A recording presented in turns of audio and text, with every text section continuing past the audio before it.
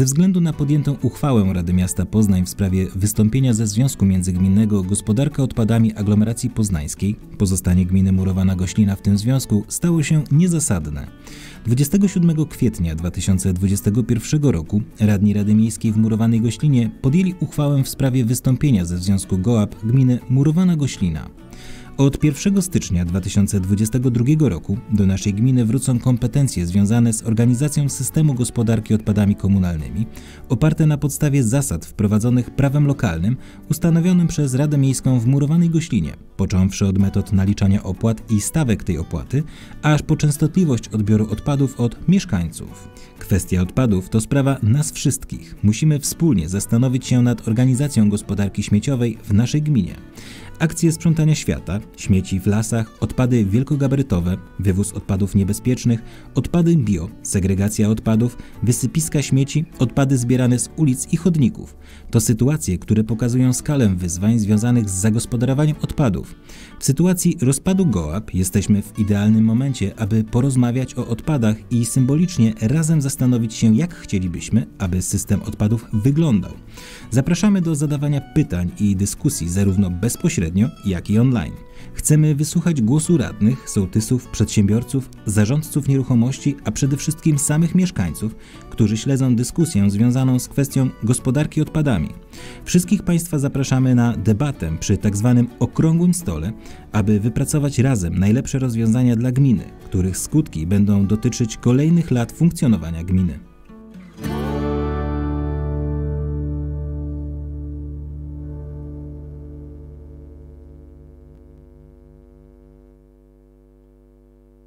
Szanowni Państwo, e, tak właśnie pokrótce powiem, jak będzie prezentowało się nasze e, spotkanie. Na początek słowo od burmistrza, następnie e, zastępca, który opowie o rysie historycznym. Potem będzie prezentacja pana Macieja Jakiebusa, eksperta samorządowego i prawnika odnośnie gospodarki odpadami, a także następnie debata tutaj zgromadzonych i na końcu pytania od mieszkańców. Zapraszam wszystkich serdecznie zgromadzonych na Facebooku, aby zadawali pytania w komentarzu. Potem będą one zadawane tutaj e, na żywo. W związku z tym e, serdecznie Państwa e, wszystkich witam i zapraszam Pana Burmistrza Dariusza Urbańskiego, żeby zabrał słowo.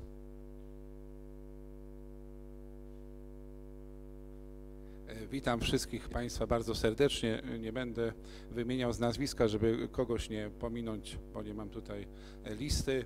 E, tą debatę zorganizowaliśmy po to, żeby porozmawiać, co nas e, czeka. E, w zasadzie najważniejszą decyzję, którą, która będzie podjęta w samorządzie, to będzie decyzja radnych, jeżeli chodzi o nowy regulamin, który będzie rzutował na stawkę, którą będziemy y, musieli w przyszłości wypracować.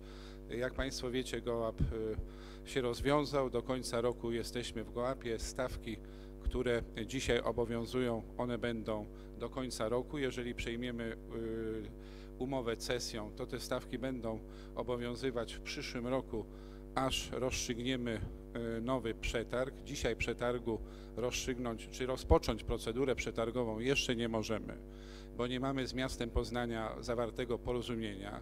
Dlatego spotkaliśmy się z, gmin, z gminami sąsiednimi, które były w Gołapie. Wypracowujemy wspólne porozumienie z Poznaniem, nanosimy swoje uwagi i dopiero kiedy dojdziemy do konsensusu i E, będziemy mieli zawarte porozumienie z miastem Poznania, to gminy będą mogły przystąpić do przetargu. Ten przetarg będzie trwał kilka miesięcy e, ze względu na to, że mogą być różnego typu odwołania. E, kwota, jeżeli na 29 miesięcy, kilkunastomilionowa, w związku z tym ta procedura przetargowa będzie trwała zapewne okres, przez okres dłuższy i w związku z tym być może, że w przyszłym roku w połowie roku E, dopiero będzie ten przetarg rozstrzygnięty, wtedy będziemy wiedzieć, jaka e, będzie stawka e, za odbiór odpadów. Dzisiaj nie jesteśmy w stanie tego jeszcze określić i dlatego radni i ta dzisiejsza dyskusja ma temu pomóc. Czy na przykład częstotliwość odbierania odpadów zielonych w okresie zimowym musi być z taką częstotliwością, jak to się odbywa e, teraz w okresie zimowe, e, zimowym. Czy ktoś, kto będzie miał kom, kompostownik, będzie płacił mniej e, za odbiór e, od osoby, odbiór e, odpadów i od niego nie będziemy odbierać e, tych odpadów. Co z przokami? Czy będziemy e, odbierać od mieszkańców, tak jak do tej pory, e, raz w mie- w miesiącu e, odpady gabarytowe, czy raz na dwa miesiące, to Państwo będziecie decydować. Dzisiaj mamy pojemniki, które są własnością wykonawcy, a jak się okazuje, co miesiąc e, płacimy do naszej ceny e, za ten koszt, który otrzymaliśmy i okazuje się, że już on jest kilkakrotnie spłacony. Czy mieszkańcy powinni zaopatrzyć się e, we własne pojemniki, czy będziemy e, tego żądać od nowego wykonawcy w przetargu, ale będziemy świadomi, że będziemy płacić więcej i czy nam to się kalkuluje. Te decyzje podejmują, Szanowni Państwo, wszyscy radni, nie burmistrz, nie zastępca, tylko radni. I to będzie miało wpływ na cenę, e, na cenę, którą będziemy wpłacić w przyszłym roku, w przyszłości. Celem naszym jest, byśmy byli bardzo zadowoleni, żeby ceny były e, na tym poziomie, jakie są dzisiaj, ale odpowiemy to dopiero po przetargu i jeszcze raz chcę zaznaczyć, że po to jest ta debata e, i będziemy o tym rozmawiać, co możemy zmienić, co chcemy zmienić i co jest możliwe do zmiany, żeby stawka była mniejsza. Gołap się rozpadł nie dlatego, że, że tak chciał prezydent Poznania, e, ale e, argument jest taki, że dokładają, że Poznań dokłada do poszczególnych gmin, że te kwoty się nie bilansują.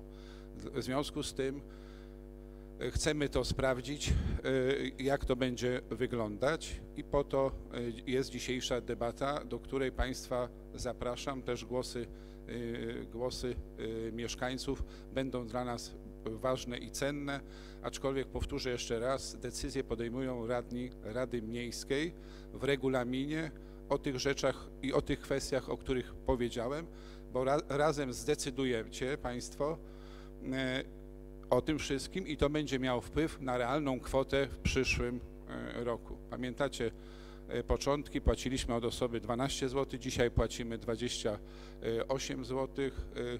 E, Te ceny są galopujące, ale oczywiście będziemy się starać, żeby to było jak najmniej dokuczliwe dla mieszkańców. Cieszę się, że są wśród nas e, sołtysi, jest pan prezes spółdzielni, jak widzę, widzę obecnego radnego, byłego przewodniczącego e, Rady Miejskiej, no i też mamy specjalistę od prawa samorządowego.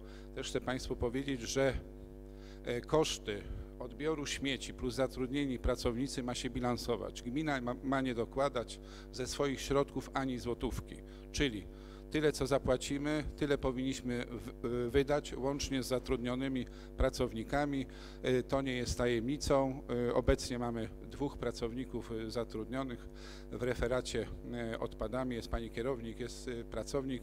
Będziemy jeszcze chcieli dobrać jedną osobę i uważam, że taki referat trzyosobowy w naszej gminie to będzie tym refer, referatem maksymalnym, bo nie chcemy biurokratyzacji od razu na wstępie e, rozszerzać. Przed nami e, regulamin i nowe deklaracje. E, W tych deklaracjach e, nie, nie powinna się pojawić kwo- kwota, która będzie nawet obecnie obowiązywała, bo te kwoty rozumiem, że mogą się zmieniać i po przetargu w przyszłym roku, ale też być może e, na przestrzeni e, roku, gdzie sprawdzimy, że na przykład mieszkańcy e, płacą za mało, a daj Boże płacą za dużo. I dlatego, żeby nie przedłużać, e, poproszę e, zastępcę, żeby powiedział, dlaczego wystąpiliśmy z GOAP-u. Później e, tu pan mecenas e, opowie e, o przepisach, jakie obowiązują, co nas czeka i później mam nadzieję, że żywa debata, e, włączając radnych, którzy będą podejmować już wkrótce decyzje. Dziękuję. Dziękuję bardzo. E, Szanowni Państwo, w takim razie przechodzimy do drugiego punktu e, naszej debaty. E, Zapraszam e, zastępcę burmistrza, pana Radosława Szpota, e, aby zabrał także głos.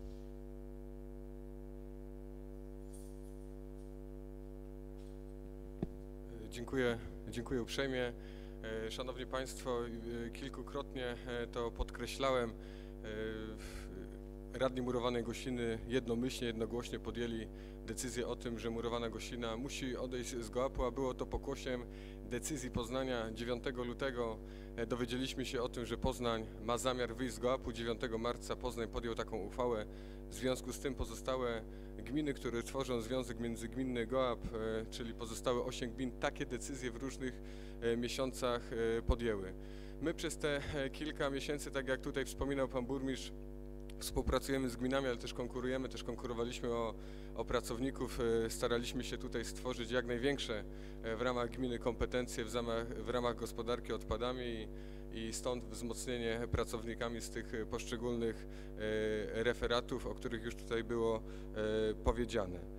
Szanowni Państwo, w 2011 roku, trzeba to wyraźnie podkreślić, ustawodawca dawał gminom dawał e, gminom dwa lata na wprowadzenie e, wszystkich rozwiązań związanych z gospodarką odpadami. My mamy tylko i Państwo macie tylko kilka miesięcy na to. Od początku próbowaliśmy analizować możliwość szybkiego i na tym się, wydaje mi się, radni też powinni się skupić, my wszyscy wspólnie, bo to jest wspólna, wspólna sprawa dotycząca tego, żebyśmy jak najszybciej mogli taki przetarg y, y, ogłosić, natomiast mamy kilka z tym związanych, na pewno stoimy przed kilkoma trudnościami. Pierwsza kwestia to jest zawarcie, y, nie mamy wszelkich informacji. E, tak jak Pan Burmistrz wspominał, kwestia porozumienia dotyczące kierowania odpadów do spalarni w Poznaniu. E, ta kwestia tego porozumienia miała być wypracowana do końca maja. Dostaliśmy też te materiały, dokumenty, wszystkie gminy e, z opóźnieniem. Spotykamy się z innymi włodarzami e, miast, pracownikami merytorycznymi, nanosimy swoje uwagi, bo jest tam wiele wątpliwości i i spraw, które chcielibyśmy tutaj dopracować i na pewno z Poznaniem to wypracujemy, natomiast to jest określony czas. Jest to przetarg, kwestia, kwestia gospodarki odpadowej i zorganizowania przetargu. To są kwestia przetargów unijnych. One trwają e, dobrych kilka miesięcy. W związku z tym nie jesteśmy w stanie na dzisiaj takiego przetargu zorganizować w sposób e, taki bezproblemowy od 1 stycznia. W związku z tym stoimy na stanowisku, że to, co przed nami, e, e co nas czeka, to przyjęcie obecnej umowy cesji na kilka najbliższych miesięcy. Będzie to tak zwany okres przejściowy i przed radnymi będzie decyzja dotycząca podjęcia określonych aktów prawa miejscowego, regulaminów, uchwał, tak, ponieważ od, ponieważ od stycznia musimy cały ten system stworzyć. Na jesieni będziemy zbierali deklaracje nowe i będą kilka, i będzie kilka tych pytań. Też stoi przed nami temat dotyczący punktu selektywnej zbiórki odpadów komunalnych, czyli tak zwanego przoku. Dzisiaj na terenie murowanej Gościny takiego przoku po prostu nie ma. Możemy też y, ten przok przejąć umową cesji. Jesteśmy w kontakcie z Czerwonakiem, bo dzisiaj dla GoAP-u taki przok jest u nas prowadzony na terenie Bolechowa. Stoi przed nami decyzja co dalej z tym tematem będziemy e, robili, czy będziemy ten przok też tworzyli na naszym terenie, ale to też jest określone i nakłady finansowe i czas, bo to nie da się tego zrobić w ciągu miesiąca, dwóch, tylko raczej licząc rok, czy, czy raczej półtora, czy, czy e, dwa lata. Też jeżeli chodzi o przetarg, to co jest dla nas dzisiaj trudnością, mieliśmy uzyskać, wszystkie gminy miały uzyskać taką analizę potrzeb i wymagań, która jest e, niezbędna do, do, do, do przygotowania przetargu. Też jeszcze e, tych materiałów e, nie uzyskaliśmy. Będziemy chcieli na pewno podczas, podczas tej debaty zadać kilka pytań, odpowiedzieć, poradzić się też Państwa radnych, jak Państwo to widzicie, dlatego zaprosiliśmy wszystkich. To, co podkreślam, Chciałbym, żeby przy gospodarce odpadowej, o której rozmawiamy, było jak najmniej polityki, a jak najwięcej wspólnego działania, tak jak Państwo radni, o czym podkreślałem już dzisiaj podczas tej wypowiedzi, podjęliście jednomyślną decyzję o wyjściu i tu emocji nie było, także mam nadzieję, że przez te najbliższe miesiące też uda się to e, zrobić. Na pewno jednym z pytaniem będzie, czy do systemu będziemy włączali nieruchomości niezamieszkałe, czyli tak jak szkoła, firmy, nie wiem, przedszkola. E, to jest, to jest pytanie, bo dzisiejsze propozycje, które dostajemy, to jest od Poznania, to jest różna cena spalarni za tonę odpadów. To, to, to też jest kwestia do, do dyskusji, bo dzisiaj samochód zbierający, mówiąc tak wprost, samochód, który zbiera odpady, jedzie po jednej trasie. Mamy wątpliwości, jak ten strumień odpadów rozróżniać. To, jest, to, to będą te wątpliwości, które przed Państwem radnymi e, będziecie, będziecie Państwo stali. Kwestia dotycząca e, pojemników, to jest kolejny, e, kolejny temat.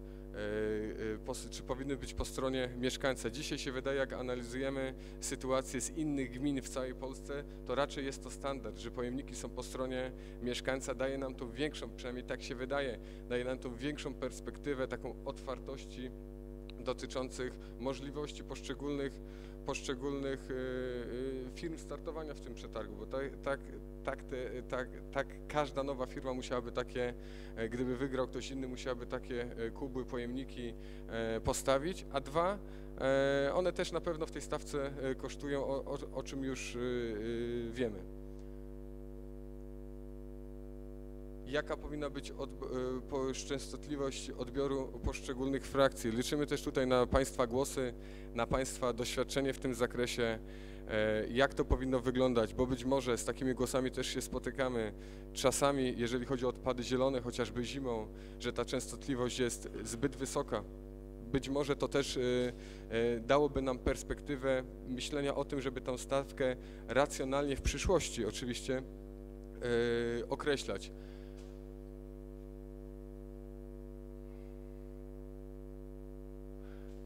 Kwestia zasad przyjmowania odpadów na przok, czy kwestia mobilnych przoków, typy nieruchomości, ilości, rodzaje, czy należy wprowadzić limity. To są na pewno e, tematy, które chcielibyśmy dzisiaj, e, dzisiaj e, podjąć. Także myślę, że tych tematów będzie, myślę, że tych tematów dzisiaj będzie dużo, dużo więcej. I tak jak mówię, liczymy na na Państwa głosy, podpowiedzi, bo chcielibyśmy, jeszcze jedną rzecz chciałem podkreślić, dzisiaj e, radni stoją przed zadaniem, tak się wydaje, nałożenia, jeżeli będziemy w tym systemie przejściowym, przejęcia w pewnym sensie tych regulaminów, które dzisiaj e, funkcjonują w GOAP-ie, ale najważniejsze zadanie przed państwem to będzie kwestia ustalenia nowego regulaminu i jak ten regulamin będzie e, wyglądał. Będziemy Państwa chcieli zaprosić do tego, żebyście Państwo mieli możliwość naniesienia tych swoich uwag, propozycji i pewnie jeszcze jednego spotkania w gronie, właśnie w gronie myślę takiego roboczego, w gronie radnych, pewnie też e, z udziałem ekspertów, e, no tak, żeby to rozwiązanie było jak najbardziej właściwe, jak najbardziej czytelne. Dziękuję uprzejmie.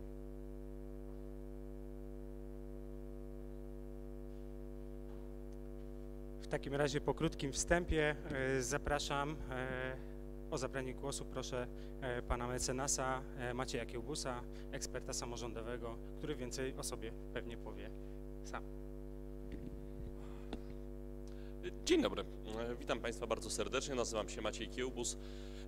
10 lat temu, po tym jak Sejm uchwalił ustawę, która rozpoczynała rewolucję odpadową, Mój szef poprosił mnie, żebym raz jeden pojechał na seminarium dotyczące śmieci. Powiedział, temat na pewno za chwilę się skończy, nie będziesz musiał się tym więcej zajmować. Kłamał.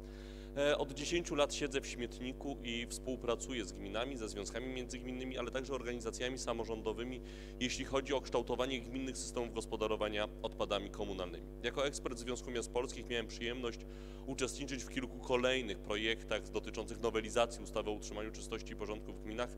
Starałem się przekonywać parlamentarzystów, posłów, senatorów to, żeby te przepisy zmieniać w taki prosamorządowy sposób. Nie dalej niż dwa dni temu byłem na posiedzeniu połączonych komisji samorządu terytorialnego i ochrony środowiska, aby też przy tej kolejnej nowelizacji przedstawić, jakie konsekwencje te zmiany ustawowe wywołują dla państwa. Jesteście Państwo w sytuacji szczególnej. Większość gmin w Polsce te problemy, te wyzwania, przed którymi Państwo staniecie, przeżywała w roku 2012, w 2013, kiedy ruszała rewolucja odpadowa. U Państwa to wszystko przeszło na GOAP. To było gdzieś z boku. Konsekwencje decyzji goapowskich dotykały każdego z Państwa. Ale pod względem decyzyjności, czy tej rozmowy, którą dzisiaj odbywamy, to było gdzieś z boku.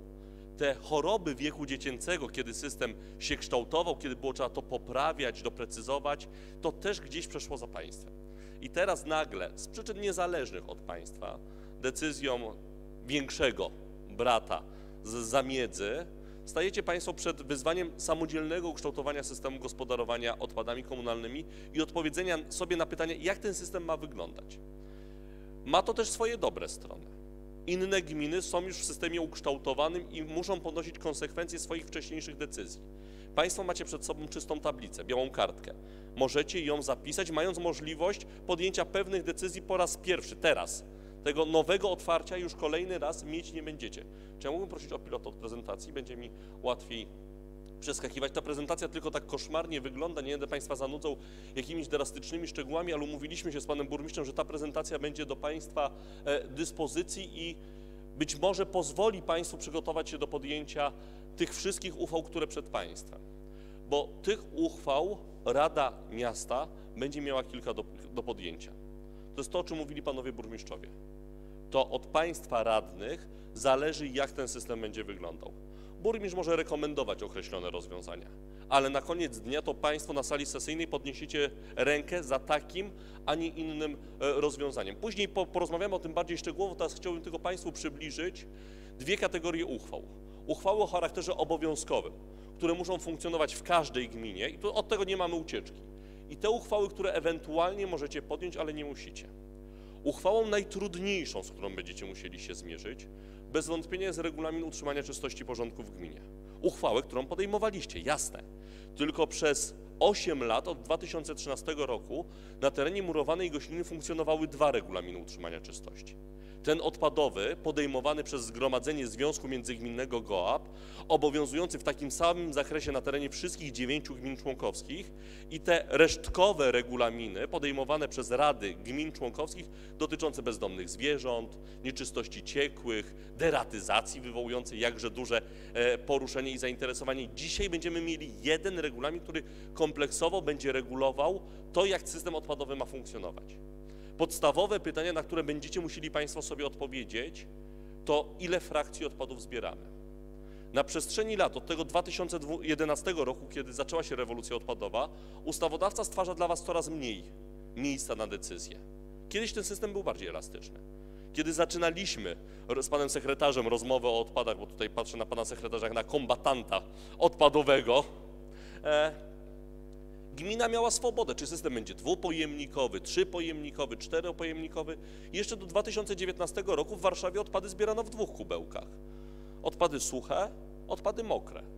Gmina miała wyznaczone cele, miała wyznaczone cele środowiskowe, ale to jak te cele będą w murowanej gościnie osiągnięte, to była państwa decyzja. Ile tych pojemników będzie, jaka częstotliwość? Z każdą kolejną nowelizacją swobody jest mniej. Dzisiaj system jest co najmniej pięciopojemnikowy. Mamy pięć frakcji, te cztery kolorowe e, kubełki, papier e, i makulatura, e, makula, papier, tektura, makulatura, szkło, bioodpady, żółty worek tworzywa sztuczne, opakowania wielomateriałowe, metal i odpady resztkowe w tym piątym. I Państwo jako radni możecie powiedzieć, ok, idziemy dalej. Chcemy mieć szósty pojemnik, siódmy pojemnik, ósmy pojemnik. Nie ma przeszkód, żeście Państwo jako radni powiedzieli, szkło zbieramy z podziałem na szkło kolorowe i szkło bezbarwne. Brązowy pojemnik dzielimy na odpady kuchenne i to odpady z ogródka. Zbieramy popioły z gospodarstw domowych. Są takie gminy, które są, które w to idą. Podobno w Japonii w jakimś mieście jest zbiórka na 20 parę frakcji. Nie ma przeszkód pod względem prawnym, żeby murowana goślina zawstydziła Japonię i wprowadziła system 30-frakcyjny. Na pewno będziecie na ustach wszystkich, tylko pytanie, jaki byłby tego efekt? Jaka byłaby korzyść? Czy mieszkańcy połapaliby się z 30 pojemnikami? Oczywiście, te 30 pojemników to jest przesada, ale to, czy chcecie wprowadzać dodatkowe frakcje, czy zostajemy na pięciu podstawowych, to jest Państwa decyzja. Państwa decyzją będzie to, czy te odpady problemowe, farba, która zostaje Wam po remoncie, krzesło, które Wam nie jest potrzebne, zepsuty wózek dziecięcy. Czy zawozicie to do punktu selektywnej zbiórki odpadów komunalnych? Gmina musi mieć taki punkt, ale może mieć go wspólnie z inną gminą. Nie ma pod względem prawnym przeszkód, żeście razem z Czerwonakiem dalej mieli swój przok, ale pewnie docelowo tendencja będzie taka, żeby każda gmina miała swój. Ale jest pytanie, czy oprócz tej zbiórki u źródła, u Pani spod domu, tych pięciu pojemników, i tego przoku, który jest w Czerwonaku, czy jeszcze wprowadzacie rozwiązania pośrednie, czy nie? Są gminy, które robią objazdową zbiórkę określonych frakcji. Raz w roku, raz na pół roku. Nie ma przeszkód, żebyście Państwo radni powiedzieli, co tydzień śmieciarka przejeżdża po te odpady. Tylko to wszystko kształtuje stronę kosztową systemu. To Państwo będziecie musieli odpowiedzieć w tych granicach, które wyznacza ustawodawca, z jaką częstotliwością odpady mają być zbierane. Przy dwóch grupach odpadów, przy odpadach bio, czyli te kuchenne, liście, gałęzie. I przy odpadach zmieszanych mamy narzuconą minimalną częstotliwość. Od kwietnia do października zabudowa wielorodzinna raz w tygodniu, nie można zejść na mniejszą, y, wielolokalowa raz w tygodniu, jednorodzinna raz na dwa tygodnie. Ale jak często od Pana spod domu będzie odbierany plastik, jak często będzie odbierane szkło od Pani, to jest Wasza decyzja. Możecie powiedzieć codziennie, możecie powiedzieć raz w tygodniu, raz w miesiącu, raz w kwartale, tylko musicie odpowiedzieć sobie na pytanie, czy mieszkańcy przeżyją to, że szkło z ich domów będzie odbierane raz na dwa miesiące, raz na trzy miesiące. Te decyzje, które podejmiecie w tym zakresie, będą wpływały na stronę kosztową. Tak samo jak decyzja o tych pojemnikach, o których będziemy mówili. Wyjściowo, jeżeli radni nie postanowią inaczej, obowiązkiem każdego właściciela nieruchomości jest wyposażyć swoją nieruchomość w pojemniki na odpady, utrzymywać te pojemniki w należytym stanie technicznym, porządkowym i sanitarnym, sprzątać w miejscu ustawienia tych pojemników. To jest obowiązek każdego z nas. Ale radni mogą powiedzieć, dobra, gmina przejmuje ten obowiązek od właściciela nieruchomości w całości albo w części, jako część usługi, za którą płacicie w ramach tej opłaty za gospodarowanie odpadami komunalnymi. A więc po Państwa stronie będzie wybór. Czy każdy z Was, jak jest dzisiaj, dzisiaj cztery pojemniki daje, daje, płacicie do związku za to, że daje Wam cztery pojemniki, piąty na bioodpady, jest pojemnikiem, który musicie mieć swój. Przed Wami decyzja. Zostajemy w tym systemie. No, absurdalne byłoby powiedzenie, dobra, to gmina też będzie dawała piąty brązowy pojemnik, a co będziemy mieli dwa? W to nie pójdziecie. Ale czy zostajecie w rozwiązaniu gołapowskim? Cztery, ktoś ma dostarczyć za Was w ramach opłaty za gospodarowanie odpadami komunalnymi, czy też to jest ten moment, w którym powiecie, ok, to niech mieszkańcy kupią te cztery dodatkowe, będą mieli pięć swoich, ale mamy w tym zakresie większą elastyczność, jeśli chodzi o funkcjonowanie systemu, o tym będziemy jeszcze mówili. To Państwa decyzja, czy wokół pojemnika Pani sama posprząta śmieci, które nie daj Boże wypadną, czy gmina ma przyjechać i wokół tego pojemnika posprzątać. Gmina może to zrobić. Jeżeli radni tak zadecydują, obowiązkiem burmistrza jest wprowadzić te wymogi do specyfikacji istotnych warunków zamówienia i wprowadzić to do przetargu. Ja wam nie wrogiem, tylko musicie. Najtrudniejsze zadanie po stronie państwa radnych jest znalezienie tego złotego, idealnego punktu pomiędzy zakresem świadczonej usługi a wysokością opłaty za gospodarowanie odpadami komunalnymi. Jedną z niewielu rzeczy, jaką zapamiętałem z wykładów z ekonomii na studiach, to to, że potrzeby ludzi są zawsze niezaspokojone, a środki są zawsze ograniczone. Z punktu widzenia mieszkańców, nie wiem, czy ktoś z Państwa, bo, bo miał być na sali prezes spółdzielni mieszkaniowej, czy dawno, dawno temu, kiedy Pani jeszcze nie było na świecie, w tym starym systemie przed 2013 rokiem, spółdzielnia była tym rodzynkiem w deserze, tym naj, na, najlepszym kawałkiem tortu odpadowego. Firmy odpadowe biły się o obsługę spółdzielni, bo to był najlepszy klient, ale spółdzielnia też mogła żądać i wymagać. Znam spółdzielnie mieszkaniowe, które miały odbiór odpadów co dwa dni, w niektórych lokalizacjach codziennie, co pozwalało na małe, śliczne altaneczki e, śmieciowe. Dzisiaj musi być po Państwa stronie decyzja. Gdzie jest ta granica usługi i gdzie jest ta granica stawki opłaty, biorąc pod uwagę, że na dzień dzisiejszy system musi być systemem samobilansującym się. Gmina nie może na odpadach zarabiać. Pieniądze, które będziecie Państwo płacili od 1 stycznia do gminy w ramach opłaty za gospodarowanie odpadami komunalnymi, nie mogą być wydane na żaden inny cel niż te określone w ustawie. Odbiór, zagospodarowanie odpadów, edukacja, PSZOK, koszty obsługi administracyjnej, tak? ale tylko w zakresie związanym z odpadami. Ale gmina też nie może do tego z tą poza pewnymi wyjątkami dokładać. A więc nie może być tak, że Państwo jako radni mówicie, odpady odbierane codziennie, ale płacimy 10 zł. Tak? Takie rozwiązanie byłoby niezgodne z ustawą i stanowiłoby podstawę do tego, żeby Regionalna Izba Obrachunkowa interweniowała. Więc w tych dwóch uchwałach, w regulaminie, najtrudniejszej uchwale, co do której jest najwięcej wyroków i rozstrzygnięć nadzorczych. Dlaczego? Bo radni w całej Polsce starają się napisać regulamin w sposób czytelny i przejrzysty dla mieszkańców, a prawnicy pracujący w nadzorze czy orzekający w sądach administracyjnych mówią nie, nie, nie. Założenie jest takie, że każdy z mieszkańców murowanej Gośliny zna ustawę o utrzymaniu czystości i porządku w gminach, zna ustawę o odpadach, zna ustawę o zużytym sprzęcie elektrycznym i elektronicznym, zna rozporządzenia wykonawcze, bo regulamin to jest tylko to, ten dodatek, to co różnicuje sytuację pomiędzy Czerwonakiem, Poznaniem, a murowaną Gośliną. Oczywiście, w praktyce wiemy jak to wygląda, dlatego jest ta próba przemycenia przepisów, żeby uczytelnić regulamin, ale to jest zawsze ta trudność. Te dwie uchwały kształtują zakres usług. W tych dwóch uchwałach mówicie, co gmina ma zapewnić na rzecz mieszkańca. Te dwie uchwały wpływają na uchwałę trzecią, bo jak w oparciu o te, o te dwie zakresowe co do przedmiotu systemu określimy, ile on będzie kosztował, to musicie sobie odpowiedzieć, w oparciu o jaką metodę te koszty będą dzielone na mieszkańców. Metody są cztery. Mieszkaniec może rozliczać się z gminą za odpady w oparciu o ilość mieszkańców, powierzchnię lokalu mieszkalnego, ilość zużytej wody i gospodarstwo domowe. Cztery niedoskonałe i kontrowersyjne metody, ale nie ma piątej, nie ma innej możliwości. W tym starym systemie przed 2011-2013 rokiem gminy, e, właściciele nieruchomości, spółdzielnie rozliczali się od ilości odpadów. Tylko w 2011 roku ustawodawca podjął jedną decyzję, którą pomimo wielu zmian konsekwentnie trzyma do dnia dzisiejszego. System, w którym właściciel nieruchomości płaci za ilość odpadów, motywuje go pod względem ekonomicznym do tego, żeby tych odpadów było jak najmniej. Nie na zasadzie racjonalnych decyzji zakupowych. Podział odpadów na palne dzień, palne w nocy, podrzucalne do lasu. Tak? Ewentualnie wywalane w zabudowie wielorodzinnej pod altanką, bo to nie moje. Ustawodawca w 2011 roku powiedział: Biorę wszystko. Biorę każdą ilość odpadów, bo każda z tych czterech niedoskonałych metod jest oderwana od ilości odpadów. To nie jest tak, że jak wezmę metodę od mieszkańca, to każdy mieszkaniec wytwarza tyle samo odpadów. Pani może być skrajnie ekologiczna, do sklepu biegać z własną reklamówką, nie wiem, z tej tekturki po papierze toaletowym robić sobie dzbanuszki na okno, tak? A pan może powiedzieć, a ja mam to w nosie. Tak? Ekologia to spisek wegetarian, cyklistów, kto tam pan jeszcze chce. I tworzy odpady na potęgę. Pani ma dzbanek i filtruje wodę, a pan kupuje plastikowe butelki. Na koniec dnia płacicie tyle samo. System nie widzi tej różnicy.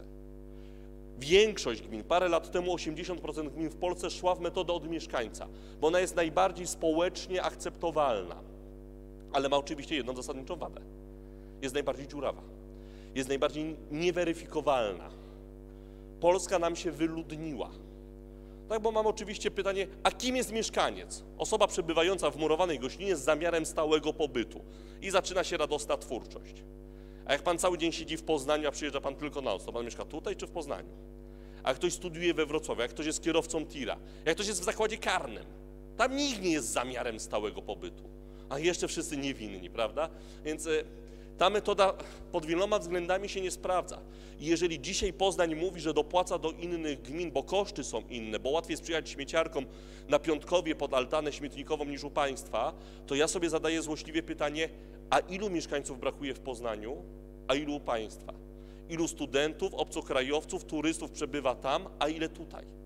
Bo przy metodzie od mieszkańca mamy powszechnie do czynienia ze zjawiskiem pasażera na gapę. A więc mamy osoby, które wytwarzają odpady, ale jak przychodzi do płacenia, mówią: Nie, nie, ja tutaj nie mieszkam, ja tylko na chwilę. Metoda naj... z punktu widzenia panów burmistrzów, pana sekretarza, najlepsza metoda, gdybym miał wam tylko doradzać, gdyby nie było mieszkańców, gdyby nie było radnych, metoda od powierzchni. Mamę pani oszuka, tatę pani oszuka, ale powierzchni pani nie oszuka. Powierzchnia jest najbardziej weryfikowalna, najbardziej stabilna, tylko jest najbardziej oderwana od ilości wytwarzanych odpadów. Nie ma żadnej korelacji pomiędzy ilością wytwarzanych odpadów przy osobie samotnej mieszkającej w 70-metrowym mieszkaniu, tak, a sześcioosobową rodziną w kawalerce. Więc to pod względem tej sprawiedliwości społecznej najbardziej nam się rozjeżdża. Dzisiaj gminy coraz częściej kombinują z metodą wodną. Ta, w Gołapie też ta dyskusja była, czy nie na metodę wodną. Poznań też o niej wielokrotnie mówił. Są miasta w Polsce, od kwietnia tego roku jest, takim miastem jest Warszawa. Warszawa rozlicza od, od ilości zużytej wody. Stawka ustalona jest za każdy metr sześcienny zużytej wody, bo znowu, na dużych liczbach w pewnym założeniu powiemy, pięć osób zużywa więcej wody niż jedna osoba. Ale to jest na dużych liczbach, przy dużym uogólnieniu, tak? Bo nie da się wywieźć, nie znam takich danych, które by wykazały, że jak pani radna hmm, po powrocie z pracy napuszcza sobie pełną wadę, wannę wody, leży, relaksuje się, to przez to wytwarza więcej odpadów niż osoba, która oszczędnie podchodzi do kwestii higienicznych. Tak? A to się dzieje. To z sympatii do Państwa nie wrzuciłem tych wszystkich memów internetowych, jak będzie wyglądała za chwilę Warszawa przy metodzie wodnej, ale te argumenty o tym, że smród będzie zabijał całą zwierzynę na terenie miasta stołecznego Warszawy, a ptaki będą zawracały przy granicy z uwagi na metodę wodną jest czymś absolutnie powszechnym. Jest wreszcie metoda od gospodarstwa domowego, metoda ryczałtowa. Tylko ona znowu niesie ze sobą pewien ciężar niesprawiedliwości, zwłaszcza w dzisiejszym kształcie, bo ona mówi, każde gospodarstwo domowe w pewnym uproszczeniu, każdy lokal płaci tyle samo. Czyli osoba mieszkająca samotnie płaci tyle samo, co rodzina czteroosobowa, co rodzina ośmioosobowa. Mamy to spłaszczone. Ktoś zyskuje, ktoś traci. Osoba mieszkająca samotnie płaci e, więcej niż gdyby była metoda od mieszkańca, ale rodzina wieloosobowa ma to spłaszczone. Przed państwem będzie decyzja, czy zostajemy przy tej metodzie, która jest od początku dla mieszkańców murowanej gościny, czyli metoda od mieszkańca, czy jednak próbujemy to zmienić. Mówię przy tym, drodzy Państwo, o tym, jak te przepisy wyglądają na dzień dzisiejszy. W Sejmie trwają prace nad kolejną nowelizacją ustawy o utrzymaniu czystości i porządku w gminach. Niewykluczone, że Państwo jako radni przed tą godziną zero, 1 stycznia 2022, będziecie musieli kilkukrotnie zmienić się z przepisami odpadowymi, bo teraz podejmiecie te uchwały, żeby wystartować z przetargiem na gruncie obecnie obowiązujących przepisów, ale zanim system ruszy, będzie trzeba go zmieniać. Albo będziecie chcieli go zmieniać, bo będzie bardziej e, elastyczny. Państwa obowiązkiem będzie odpowiedzieć na pytanie, o ile mniej zapłaci właściciel nieruchomości zamieszkałej w zabudowie jednorodzinnej, jeżeli posiada przydomowy kompostownik i kompostuje w nim bioodpady wytworzone na terenie tej nieruchomości. To zwolnienie jest obowiązkowe, to jest decyzja każde, którą musicie podjąć. Ale jednocześnie będziecie musieli odpowiedzieć na pytanie, jaki zakres usług przysługuje właścicielowi nieruchomości, który z tego zwolnienia korzysta. Mieszka Pan w domu jednorodzinnym? Proszę Pana, to się nagrywa, tak? Ok, w tym momencie ma Pan kompostownik, składa Pan, zwolnienie, składa Pan deklarację ze zwolnieniem. Decyzja radnych, czy w tym momencie ma Pan mieć brązowy pojemnik, czy nie. Czy będziemy przyjeżdżali do Pana po odpady, czy nie. W takim bardzo modelowym akademickim układzie powinniśmy powiedzieć, oczywiście, że tak. Bo gdyby miał Pan chorego orzecha włoskiego, to te liście z orzecha włoskiego powinniśmy odebrać i nie wrzucać na kompostownik. Kiedyś na jakimś forum internetowym przeczytałem wiadomość, która do dzisiaj tkwi w mojej pamięci. Podobno pestka z awokado z Kubana nie chce kompostować. Jest za duża, więc nie powinna kompostować, ale jednocześnie jest to bioodpad. Więc musicie Państwo odpowiedzieć na pytanie, czy płaci Pan mniej, mając zwolnienie kompostownikowe, ale proszę się nie martwić, burmistrz po pestkę od awokado z chęcią przyjedzie. Tak? Gdzie jest ta granica znowu tej usługi i co ma być podstawą do tego zwolnienia? Bo zwolnienie ma być proporcjonalne. Ma Pan płacić o tyle mniej, o ile system jest tańszy dzięki temu, że Pan kompostuje część bioodpadów. Jeżeli Pan nadal te odpady wrzuca do systemu, to zwolnienie będzie zdecydowanie niższe. To Państwo powiecie, w jakim terminie, z jaką częstotliwością będzie wnoszona opłata. Opłata powstaje za każdy miesiąc zamieszkiwania na nieruchomości, ale nie musi być wpłacana co miesiąc. Możecie płacić co miesiąc, możecie płacić co dwa miesiące, co kwartał. To jest decyzja po Państwa stronie, ale ona wpłynie też na płynność finansową gminy. Bo gmina będzie musiała co miesiąc płacić za świadczoną usługę, ale może okazać się, że wpływy z opłaty będą przychodziły, jeżeli radni tak powiedzą, raz na kwartał. Dzisiaj, przepraszam, będę przyjmował teoretyczną stawkę 30 zł, bo łatwiej się liczy. To Państwa decyzja, czy co miesiąc każdy z Was ma płacić 30, czy raz na kwartał ma zapłacić 90 ilość pieniędzy, które wypłyną, wypłyną z Pana kieszeni jest dokładnie taka sama, ale częstotliwość płacenia wpływa na ilość operacji księgowych po stronie urzędu, ale też właśnie na tą płynność. Wzór deklaracji. Opłata śmieciowa opiera się na samozadeklarowaniu. Czyli każdy właściciel nieruchomości, największym właścicielem nieruchomości spółdzielnia mieszkaniowa, składa deklarację wpisując ilość mieszkańców, powierzchnię gospodarstwa, wodę, razy stawka i ustala ile ma płacić dopiero w sytuacji, w której nie złoży Pan deklaracji, dekla dane, które Pani poda w deklaracji, będą budziły wątpliwość. Albo jeżeli się okaże, że pomimo obowiązku nie będzie Pan prowadził selektywnej zbiórki, w tym momencie wchodzi burmistrz i jego zbrojne ramię, wydające decyzję administracyjną określającą tą y, opłatę. I wreszcie, kwestia górnych stawek opłaty ponoszonych przez właścicieli nieruchomości, jeżeli nieruchomości niezamieszkałe nie są w systemie. Bo jak to wygląda? Z nieruchomościami niezamieszkałymi będziecie musieli podjąć decyzję. Decyzję o charakterze fakultatywnym. Jeżeli radni nie zadecydują inaczej, gmina nie zajmuje się odbiorem odpadów od właścicieli nieruchomości niezamieszkałych. Każdy właściciel nieruchomości niezamieszkałej samodzielnie musi podpisać umowę na odbiór odpadów z firmą wpisaną do rejestru działalności regulowanej, samodzielnie się rozliczać z tą firmą na podstawie faktur, a burmistrz i jego zbrojna ekipa wpadają na kontrolę sprawdzić, czy ma pan umowę, czy ma pan dowody świadczące o tym, że rzeczywiście korzysta pan z tej usługi. Przy czym w umowie, którą będzie miał pan zawartą na odbiór odpadów z firmą odbierającą odpady, stawki w tej umowie nie mogą być wyższe niż te, które państwo jako radni ustawiliście. Czyli państwo jako radni podejmujecie uchwałę o suficie, maksymalnej stawce, która może pojawić się w umowie między właścicielem nieruchomości a firmą odbierającą odpady. Natomiast przechodzimy do tych uchwał, które możecie, ale nie musicie podjąć. Możecie Państwo powiedzieć: OK, nieruchomości niezamieszkałe też mogą być obsługiwane przez gminę. Do 2019 roku uchwała Rady Gminy w tym zakresie była wiążąca dla właścicieli nieruchomości. Czyli jak radni powiedzieli, odbieramy z niezamieszkałych, to te odpady były odbierane. Nie było chcemy, nie chcemy. Po nowelizacji 2.19 właściciele nieruchomości niezamieszkałych, typowych nieruchomości niezamieszkałych mają wybór. Prowadzi pan sklep wolnostojący.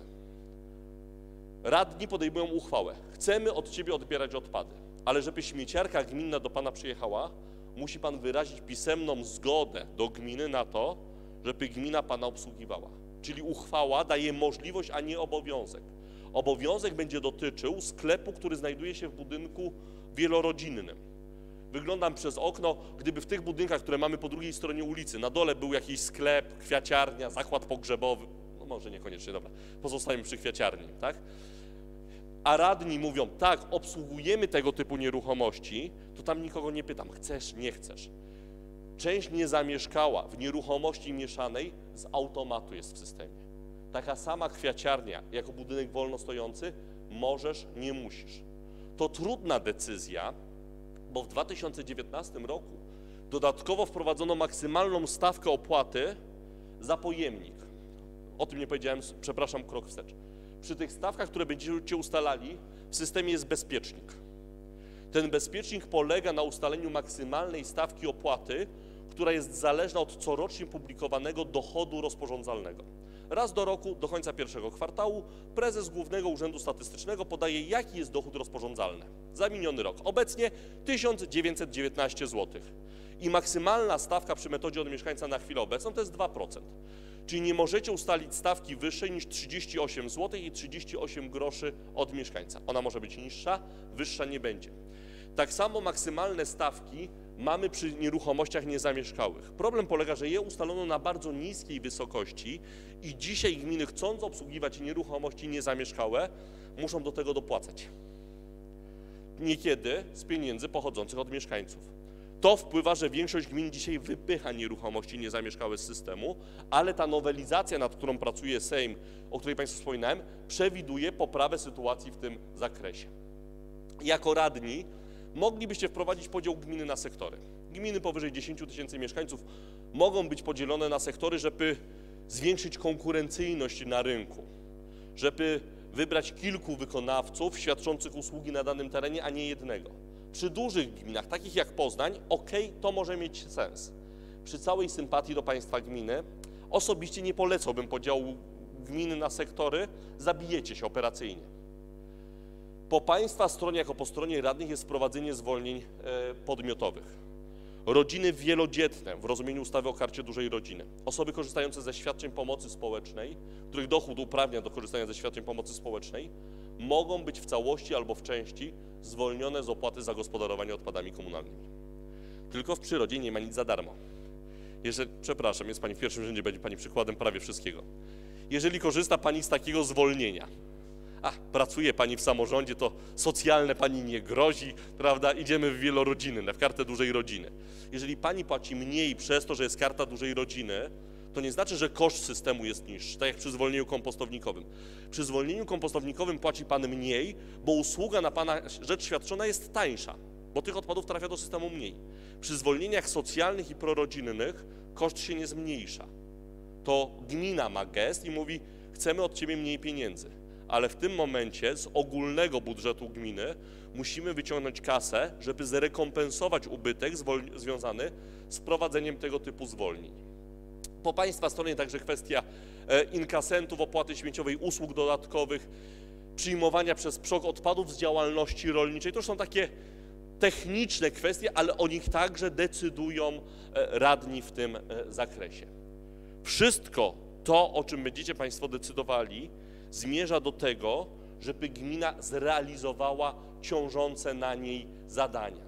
Zadania przede wszystkim recyklingowe. Unia Europejska nakłada na państwa członkowskie obowiązek osiągnięcia określonych poziomów recyklingu, z roku na rok coraz wyższych. Państwo polskie powiedziało: Dobra, my to zadanie przerzucamy na gminę. Wszystko, co Państwo będziecie robili, częstotliwość odbioru odpadów, ile kubełków, działania edukacyjne, zmierzają do tego, żeby jak najwięcej odpadów było zbieranych selektywnie, żeby jak najwięcej odpadów pod- pod- poddawać recyklingowi i żebyśmy wywiązali się z tych zobowiązań, które są po naszej stronie.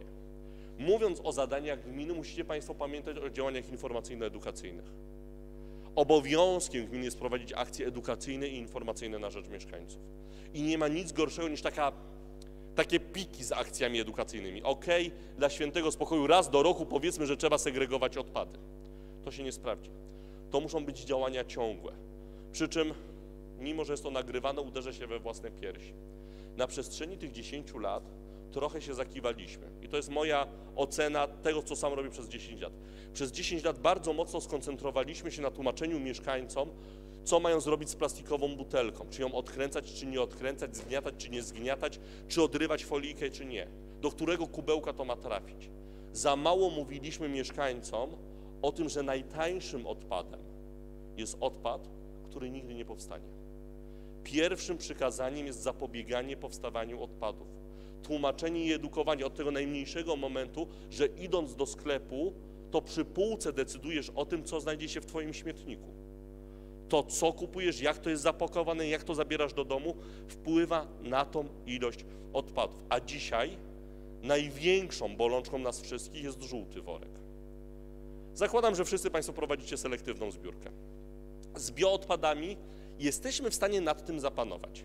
Jeżeli ktoś ma duże umiejętności kulinarne, jeżeli ktoś z głową robi zakupy, bioodpadów wcale nie ma tak dużo. I nie, nie mówię o tym, że są pasjonaci prawa odpadowego, którzy mówią, mmm, z obierek z ziemniaków robi się fantastyczne chipsy. Aż tak daleko bym e, nie szedł, to jest dla mnie o jeden most za daleko, ale może dlatego, że nigdy nie jadłem. Tych bioodpadów możemy ograniczać. Ze szkłem, ok, w tym roku mistrzostwa, mogło się tego trochę więcej e, wyprodukować, zwłaszcza, że u nas zaletą jest to, że bez względu na wynik meczu ilość szklanych odpadów jest mniej więcej na tym samym poziomie, bo po prostu albo degustujemy na wesoło, albo na smutno. Z papierem nie wiem jak Państwo. Ja czytam głównie na telefonie, na komputerze, tej prasy wcale nie ma tak dużo. Natomiast z tworzywami sztucznymi jest koszmar. Tam z założenia mamy do czynienia z miksem, bo zobaczcie, do żółtego worka wrzuca pani tworzywa sztuczne, metale i opakowania wielomateriałowe, więc wyjściowo to są trzy różne grupy. Nawet jeżeli poradzimy sobie z metalami, które w zabudowie wielorodzinnej u pana prezesa nie zawsze występują. Jak jest dobra cena surowców wtórnych, to nurkowie potrafią rozwiązać problem za gminę. Pamiętam parę lat temu tak było z niebieskim workiem z makulaturą. Jak dobrze makulatura stała na rynku surowców, to o 7 rano jechała śmieciarka gminna, o 6 rano jechał żuk pana Zenka i pan Zenek bardzo się cieszył, że makulatura już jest wystawiona przy osi jezdni, można zebrać i zabrać na skup. W tworzywach sztucznych mamy do czynienia z największym miksem, przy czym tylko część tych frakcji nadaje się do recyklingu i ma jako taką wartość handlową.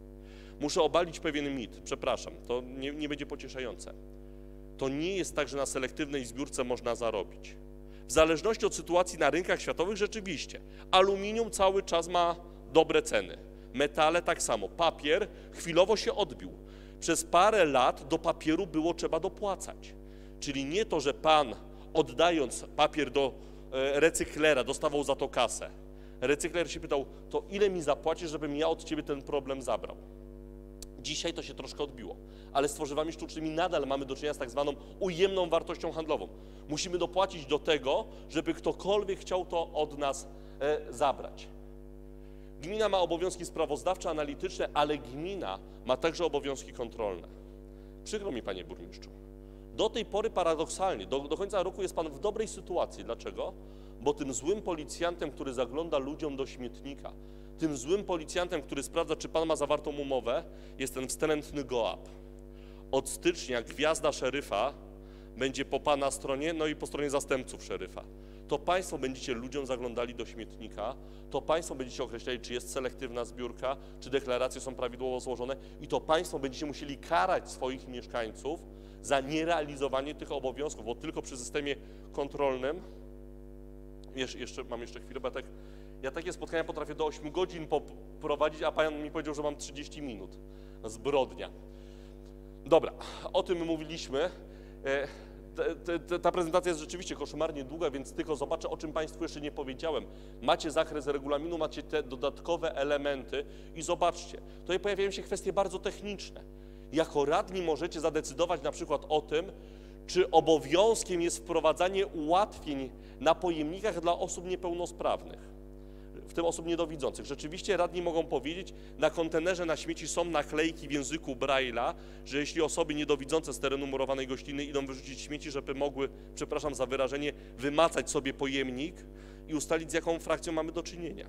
Pytanie, jaka jest skala tego problemu? Czy rzeczywiście, biorąc pod uwagę koszty związane z takim doposażeniem, takimi akcjami, ilością mieszkańców w takiej sytuacji, warto w to iść, czy nie warto e, w to iść? To Państwo możecie podjąć decyzję, czy odpady kuchenne razem z, z ogrodowymi, czy nie. O szczegółowym zakresie Państwu mówiłem, a nie powiedziałem o jednej rzeczy. To Państwo jako radni podejmujecie decyzję, czy odpady powstające u właścicieli nieruchomości zamieszkałych w każdej ilości odbieracie, czy wprowadzacie limitację. Założeniem jest to, że bierzecie wszystko w ramach opłaty, ale w trzech wypadkach radni mogą wprowadzić limity. Opony, odpady wielkogabarytowe i odpady budowlane i rozbiórkowe. Tu możecie powiedzieć, ok, jest limit kilogramowy, ilościowy, jeśli chodzi o opony, tylko znowu jedną z niewielu rzeczy, którą zapamiętałem tym razem z lekcji przysposobienia obronnego w liceum, a było to bardzo dawno, dawno temu, jest to, że wymyślenie każdej broni wymusza wymyślenie nowej tarczy. Każda tarcza wymusza wymyślenie nowej broni. System nigdy nie będzie idealnie szczelny. Tak, bo jeśli Państwo radni powiecie, wprowadzam limit czterech opon na właściciela nieruchomości, a pani ma dwa samochody, to pani, nie wiem, teściową na przok wywiezie. Żeby na nią zostawić te cztery opony, bo pani się ucieszyła. Nie, nie. Te dodatkowe cztery opony zostają, teściowa wraca. Pani pamięta, że to się nagrywa, mamusia może oglądać, tak? To nigdy nie będzie idealnie szczelne, ale to może przymknąć nam trochę system. Bo jeżeli ktoś prowadzi usługi budowlane, ma, jest majsterkowiczem, remontuje ludziom mieszkania, to trudno mu będzie powiedzieć, że on codziennie u siebie robi remont i dlatego codziennie przywozi po 100 kg odpadów. Tylko dla odmiany w tym momencie na przoku muszę wprowadzić kogoś, kto będzie pilnował i liczył, ile pan burmistrz już tych odpadów przywiózł. To znowu jest pytanie, czy dzisiaj chcę wprowadzać tą limitację, czy z czasem. Kończąc już i puentując. E, system odpadowy ma charakter dynamiczny. Jesteście w błędzie, jeżeli myślicie, że teraz podejmiecie te uchwały i będziecie mieli spokój. Radni, którzy tak myśleli w poprzednich kadencjach, cały czas wracają do tematyki śmieciowej.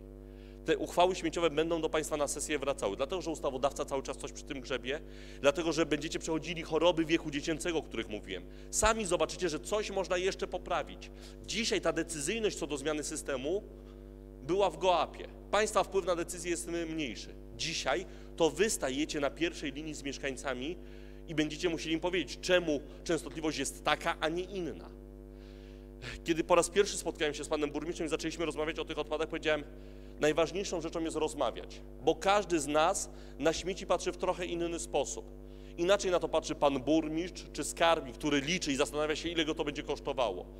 Panie z referatu, który myślą, Boże, ile będzie tych deklaracji i kiedy one do nas wpłyną. Inaczej na to patrzy pani wynosząc śmieci, a jeszcze inaczej ktoś, kto z perspektywy ciężarówki jedzie i widzi, ile tych śmieci ma do odebrania. Dlatego te rozwiązania trzeba wypracowywać wspólnie. Najgorszą rzeczą byłoby, gdyby pan burmistrz przyszedł na komisję i powiedział, to są projekty uchwał śmieciowych, podejmujcie, tak? O tym trzeba rozmawiać. Dzisiejsze spotkanie jest po to, żeby zasiać wśród państwa tą dobrą nowinę odpadową, żeby ona zaczęła wzrastać, że kiedy przyjdzie Wam podejmować uchwały i podnosić rękę, czy jesteście za, czy przeciw, żebyście przynajmniej mieli wyobrażenie, jakie są tego konsekwencje i z czym się to może wiązać. Tu postawię kropkę. Przepraszam, że całej tej prezentacji Państwu nie przedstawiłem. Jeżeli będzie taka potrzeba, umówimy się e, na dogrywkę. Wtedy Pan Burmistrz załatwi 8-godzinne nagranie, bo dzisiaj kaseta jest tylko na godzinę, więc e, nie, nie szliśmy w koszty. To wielkopolska organizacja. Oddaję się do Państwa dyspozycji, jeśli chodzi o e, pytania, przy czym umówmy się. Mimo, że jest to nagrywane i transmitowane, nie ma głupich pytań. Państwo pytacie o wszystko, co Wam leży na wątrobie, a ja jeśli nie potrafię powiedzieć, to się do tego przyznaję. Ewentualnie będę szukał odpowiedzi za pośrednictwem Pana Burmistrza, e, pracowników urzędu, będę starał się tą odpowiedź do Państwa przesłać w naj, możliwie najkrótszym terminie. Dobra, tu stawiamy kropkę, Pan Burmistrz razem ze mną pod mur, pluton egzekucyjny mamy na sali i przed komputerem i czekamy na pierwszy strzał. Powiedziałbym, że obaj bronimy bramki, ale te porównania piłkarskie to niebezpieczne w dzisiejszych czasach.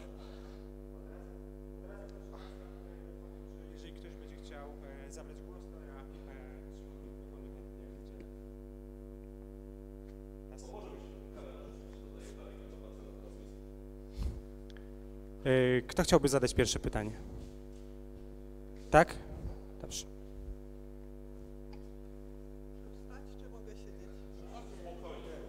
Y, Dzień dobry Państwu. Ja reprezentuję sołectwo y, bardzo mieszane. Wię- 70 mieszkańców posesji stałych, około 800 sezonowych. I bardzo by mi zależało, żeby jakoś y, te posesje sezonowe, to są rekreacyjne, były ujęte w systemie i cena, żeby była adekwatna do, do właśnie do tego systemu. Okej, e, pytanie zrozumiałem, odpowiedzi udzielam. Nieruchomości letniskowe, o których Pani powiedziała, są pod kategorią nieruchomości niezamieszkałych. Tylko rzeczywiście o nich nie wspomniałem. Żeby je obsługiwać, radni muszą podjąć decyzję, ok, bierzemy letniskowe do systemu gminnego, ale tutaj też nie mam dobrowolności.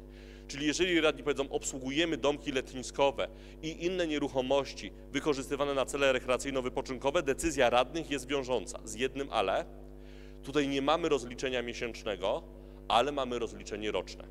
Właściciel domku letniskowego płaci roczną opłatę ryczałtową nie wyższą niż 10% dochodu rozporządzalnego od nieruchomości, na której zlokalizowany jest domek, czyli nie więcej niż 191 zł i 90 groszy na dzień dzisiejszy. Niespełna 200 zł rocznie. Trwają prace nad tym, żeby tą stawkę podnieść. Sa- Sam prosiłem ministerstwo, żeby ta stawka była na poziomie co najmniej 20%. Dlaczego?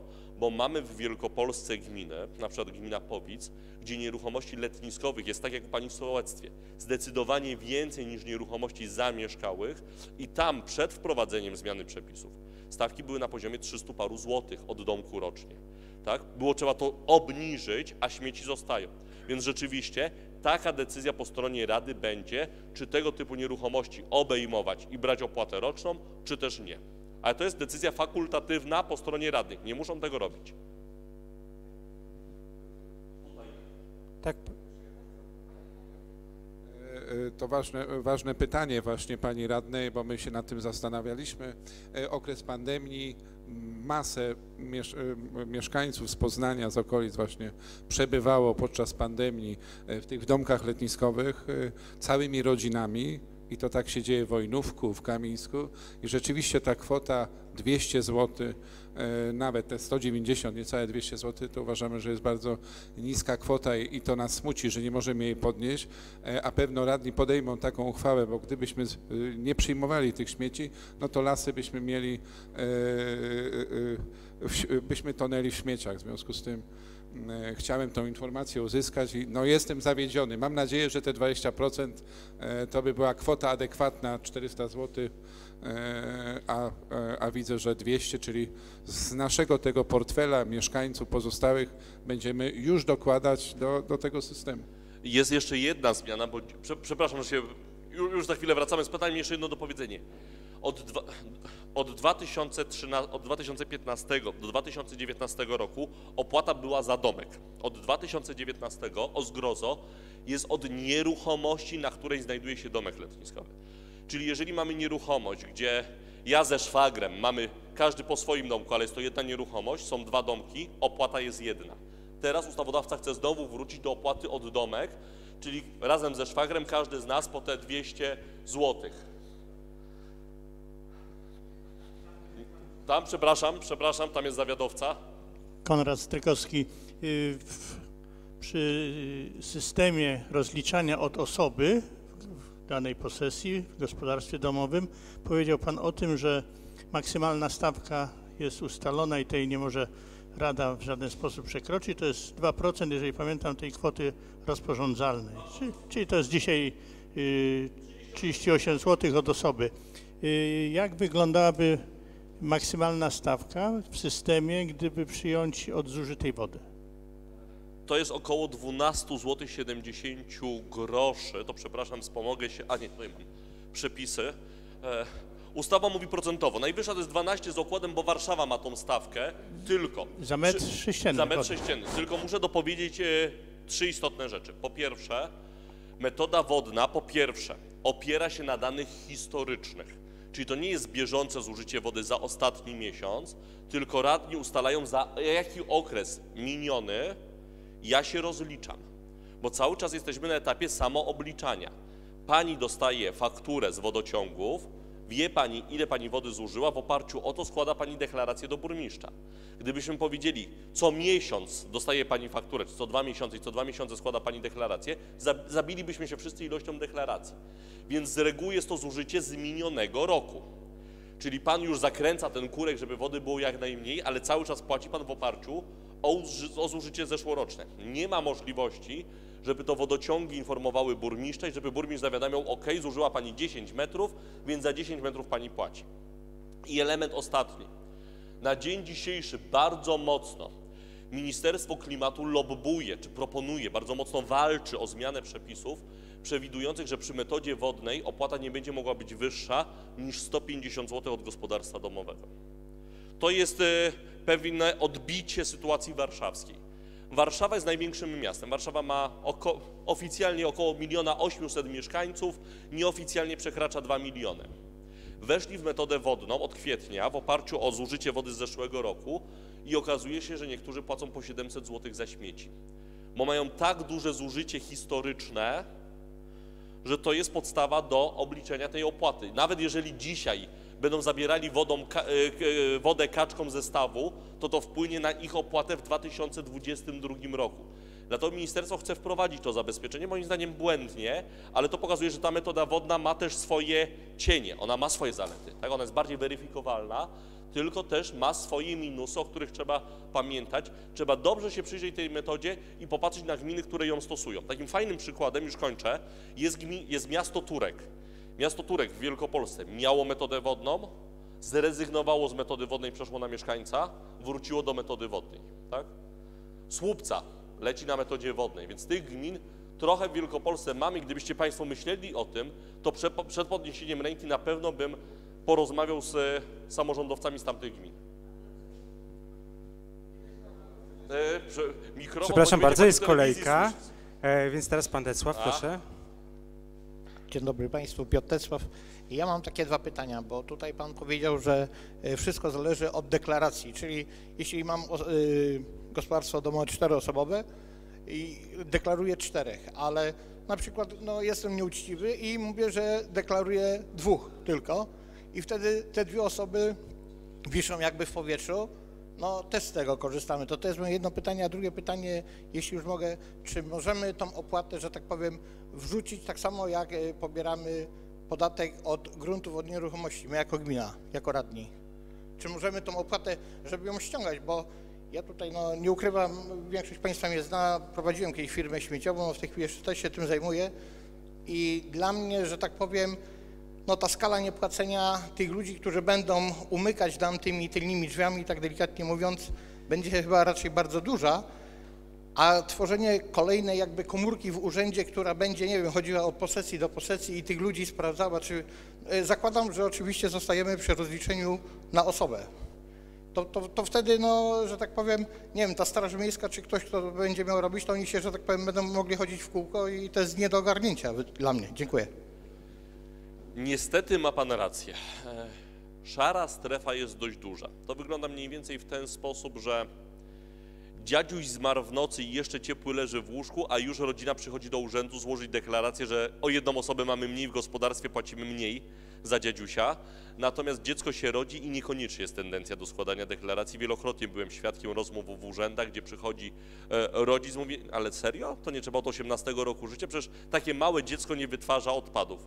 Ci z Państwa, którzy mają małe dzieci, które mają ma małe wnuki, doskonale wiedzą, że te kochane istoty wytwarzają zdecydowanie więcej odpadów niż e, dorośli, a i częstotliwość ich wynoszenia musi być zdecydowanie większa, zwłaszcza e, w okresie upalnym.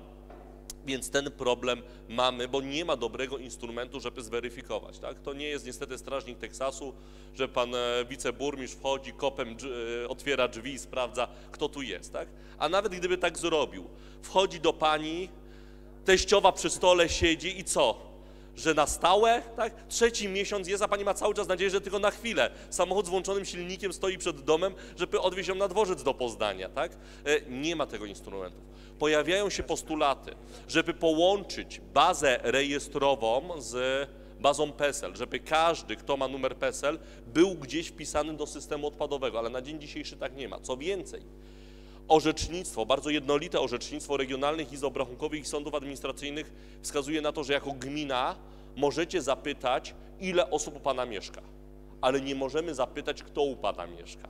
Tak, bo sprawą gminy nie jest to, czy Pan mieszka e, z Janiną Kowalską, czy z Janem Kowalskim. Bo z punktu widzenia opłaty ważna jest e, ilość osób, a nie personalia osoby. Więc tutaj to jest ten, ta, ta dziura i ta wyrwa, nawet w niewielkich gminach mówi się, że to czasami dochodzi do 20%. Tych pasażerów na gapę, którzy wytwarzają odpady, generują koszt, ale mówią, płacenie to niekoniecznie. I tutaj, bo pani, pani już czekała. Y, pani Grażyna Nawrocka, proszę bardzo. Y, dzień dobry. Y, ja proszę tylko pytanie odnośnie Turka. Właśnie mówił Pan, że najpierw był system liczenia wody, później tak do pojemników i z powrotem. Czy to był później pomysł powrotu? Dlaczego? Z czego to wynikało?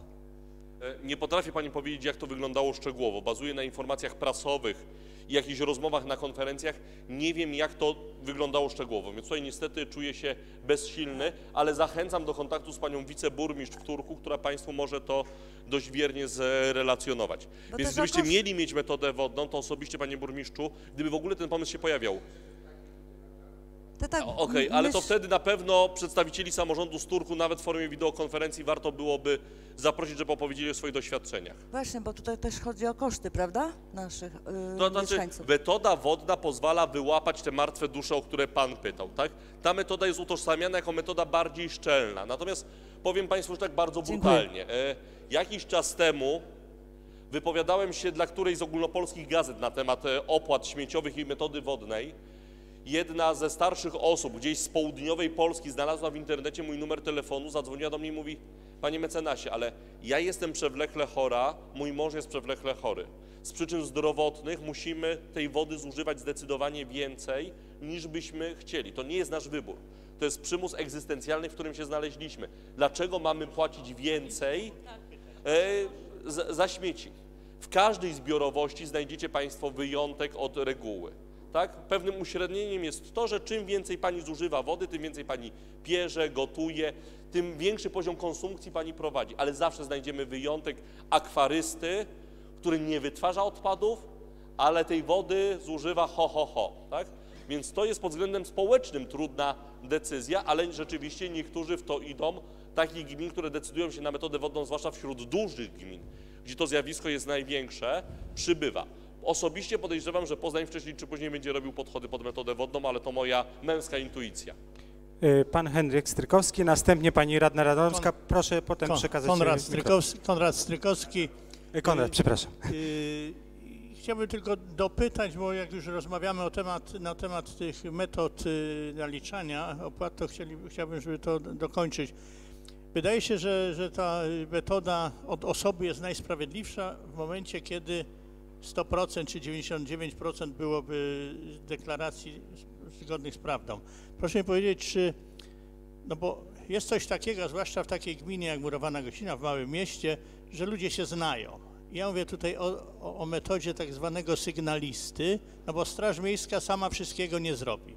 Ale czy yy, ilość osób zadeklarowanych na daną posesję, bez oczywiście imion, nazwisk, danych wrażliwych, jest możliwa do upublicznienia.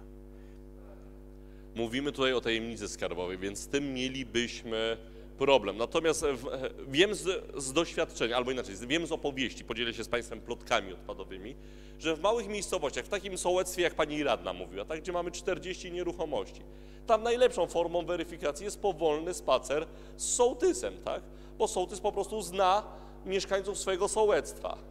Tu mieszka Heniu, wyszedł z zakładu karnego, miał 5 lat, ale za dobre sprawowanie wyszedł po trzech.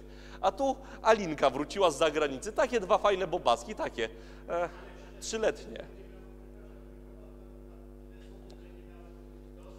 Nie, ale pani z urzędu, która będzie szła z sołtysem, będzie wiedziała, e, ile ma osób, tak? To, tak, bo w drugą stronę to nie pójdzie. To nie możemy zrobić wywieszki we wspól, u pana prezesa w spółdzielni mieszkaniowej. W tej klatce mieszkaniowej zadeklarowano 18 osób. Z rozbiciem u kogo? Ile osoby mające informacje na temat nieprawdziwych danych proszone są o kontakt z wiceburmistrzem. To już nam nie przejdzie. Ale w małych miejscowościach ta anonimowość jest mniejsza. Problem Poznania, problem dużych ośrodków jest taki, Mieszkam 10 lat na Piątkowie, ale czy znam swoich sąsiadów ze klatki schodowej? Z piętra tak. Ale tak ogólnie to miałbym wątpliwości. Prawda? I sąsiadkę z dołu niestety też. Tak, zalałem ją w pierwszym miesiącu mieszkania. Tak, kto z Państwa? Prosimy o następne pytanie, pani radna Radomska. O, super, pojawia się las rąk. Y, Pani radna Radomska, potem pan Sommerfeld i, i potem pan radny powiatowy. Dobrze, to ja, ja mam parę pytań, ale zadam jedno, oddam tutaj mikrofon e, panu radnemu i mam pytanie, e, panie Macieju, do pana, ponieważ e, ta ustawa o porządku chyba była 50 razy zmieniana i Więcej. teraz znowu... Ja, ja, ja po 60 przestałem liczyć. Dlaczego nigdy nie podjęto właśnie takich kroków, żeby w tej ustawie zmienić to, żeby była większa kontrola w sensie takim, żeby nie były te martwe dusze? Bo ta ustawa miała spowodować, że śmieci w lasach nie miały się pojawiać, ale one pojawiają się, dlatego że te martwe dusze no, nie mają podpisanych umów i gdzieś te śmieci muszą e, wywozić. My z naszej, e, mieliśmy takie spotkanie z dyrektorem GOAP-u e, na naszej sesji i wyszło, że mamy 1300 mieszkańców mniej zadeklarowanych w Gołapie do wywozu śmieci niż mamy mieszkańców w gminie. A wiadomo, że mieszkańców w gminie też może prawdopodobnie jest więcej, więc można przyjąć, że około 2000 e, mieszkańców wywozi, to znaczy składuje śmieci, a my za to wszyscy płacimy. Dlaczego w tej ustawie nie ma jakiegoś mechanizmu e, odgórnie narzuconego, żeby e, takich rzeczy nie było? Przykład, coś takiego jak właśnie to, co Pan powiedział z PESEL-em. Co roku rozliczamy się z podatku PIT, każdy musi się rozliczyć, bo Urząd Skarbowy e, nas ścignie, jeżeli dany PESEL nie jest rozliczony. E, Dlaczego nie mamy czegoś takiego wprowadzonego w tej ustawie, że nie będzie tych martwych dusz w całej Polsce, czyli do każdego, tak jak Pan powiedział, e, PESEL-u czy adresu, gdzieś trzeba się zdeklarować, czy to we Wrocławiu, czy w Murowanej, czy w Poznaniu, ale każdy PESEL będzie płacił za odbiór śmieci. E, Dlaczego Okej. takiego czegoś nie ma? Pytanie zrozumiałem, odpowiedzi udzielam. Jedną z większych bolączek systemu odpadowego, i to już od 10 lat, jest to, inaczej, w, w, dzie- w 2001 roku popełniliśmy, w 2011 roku popełniliśmy błąd. Nie uchwaliliśmy nowej ustawy śmieciowej, która kompleksowo by to regulowała, tylko dokonaliśmy bardzo dużej nowelizacji ustawy dotychczas funkcjonującej. To trochę tak jakby do karoserii od malucha włożyć silnik od stara i zastanowić się, jak to będzie śmigało. To ruszyło, to jedzie, ale to nie jest najbardziej funkcjonalny pojazd. I przez te 10 lat ustawodawca reaguje bardzo akcyjnie. Jak gdzieś zaczyna przeciekać, to wkłada palec i próbuje załatać jedną dziurę, ale za chwilę mamy dwa nowe e, przecieki. Nie ma systemowego podejścia do tej nowelizacji. Nie wiedzieć czemu żadnej z kolejnych rządzących ekip, bo przez te 10 lat rządzili wszyscy, nikomu na tym szczególnie nie e, zależało. Natomiast nie do końca zgodzę się z tym twierdzeniem na temat dzikich wysypisk. Ja mam z tym osobiście problem. Problem polega na tym, że bardzo trudno stwierdzić, skąd przyjechały te odpady, które są porzucone w lesie. Czy one przyjechały z małego sklepiku, od ktoś, kto prowadzi warsztat samochodowy, czy rzeczywiście od mieszkańca. Trochę trudno jest mi uwierzyć przez pryzmat mojego doświadczenia, że mieszkaniec, od którego odbierana jest każda ilość odpadów, bez względu na to, ile osób jest zadeklarowanych. Jeżeli pan sekretarz zadeklaruje jedną osobę, ale wystawi trzy kubełki, to te trzy kubełki będą odebrane. A nawet gdyby pan sekretarz chciał być sprytny, to zrobiłby to, z czym niestety spotykam się u siebie w zabudowie wielorodzinnej. nie wiedzieć czemu 22, 23 pod altanki śmietnikowe najlepiej położone względem dróg osiedlowych podjeżdża samochód, wysiada kierowca, wyrzuca śmieci i jedzie dalej. Pod względem ilości odpadów za, jestem gotów się założyć, że u pana prezesa w spółdzielni ilość wytwarzanych odpadów w przeliczeniu na mieszkańca jest zdecydowanie większa niż w innych miejscach, bo pojawia się to podrzucanie odpadów.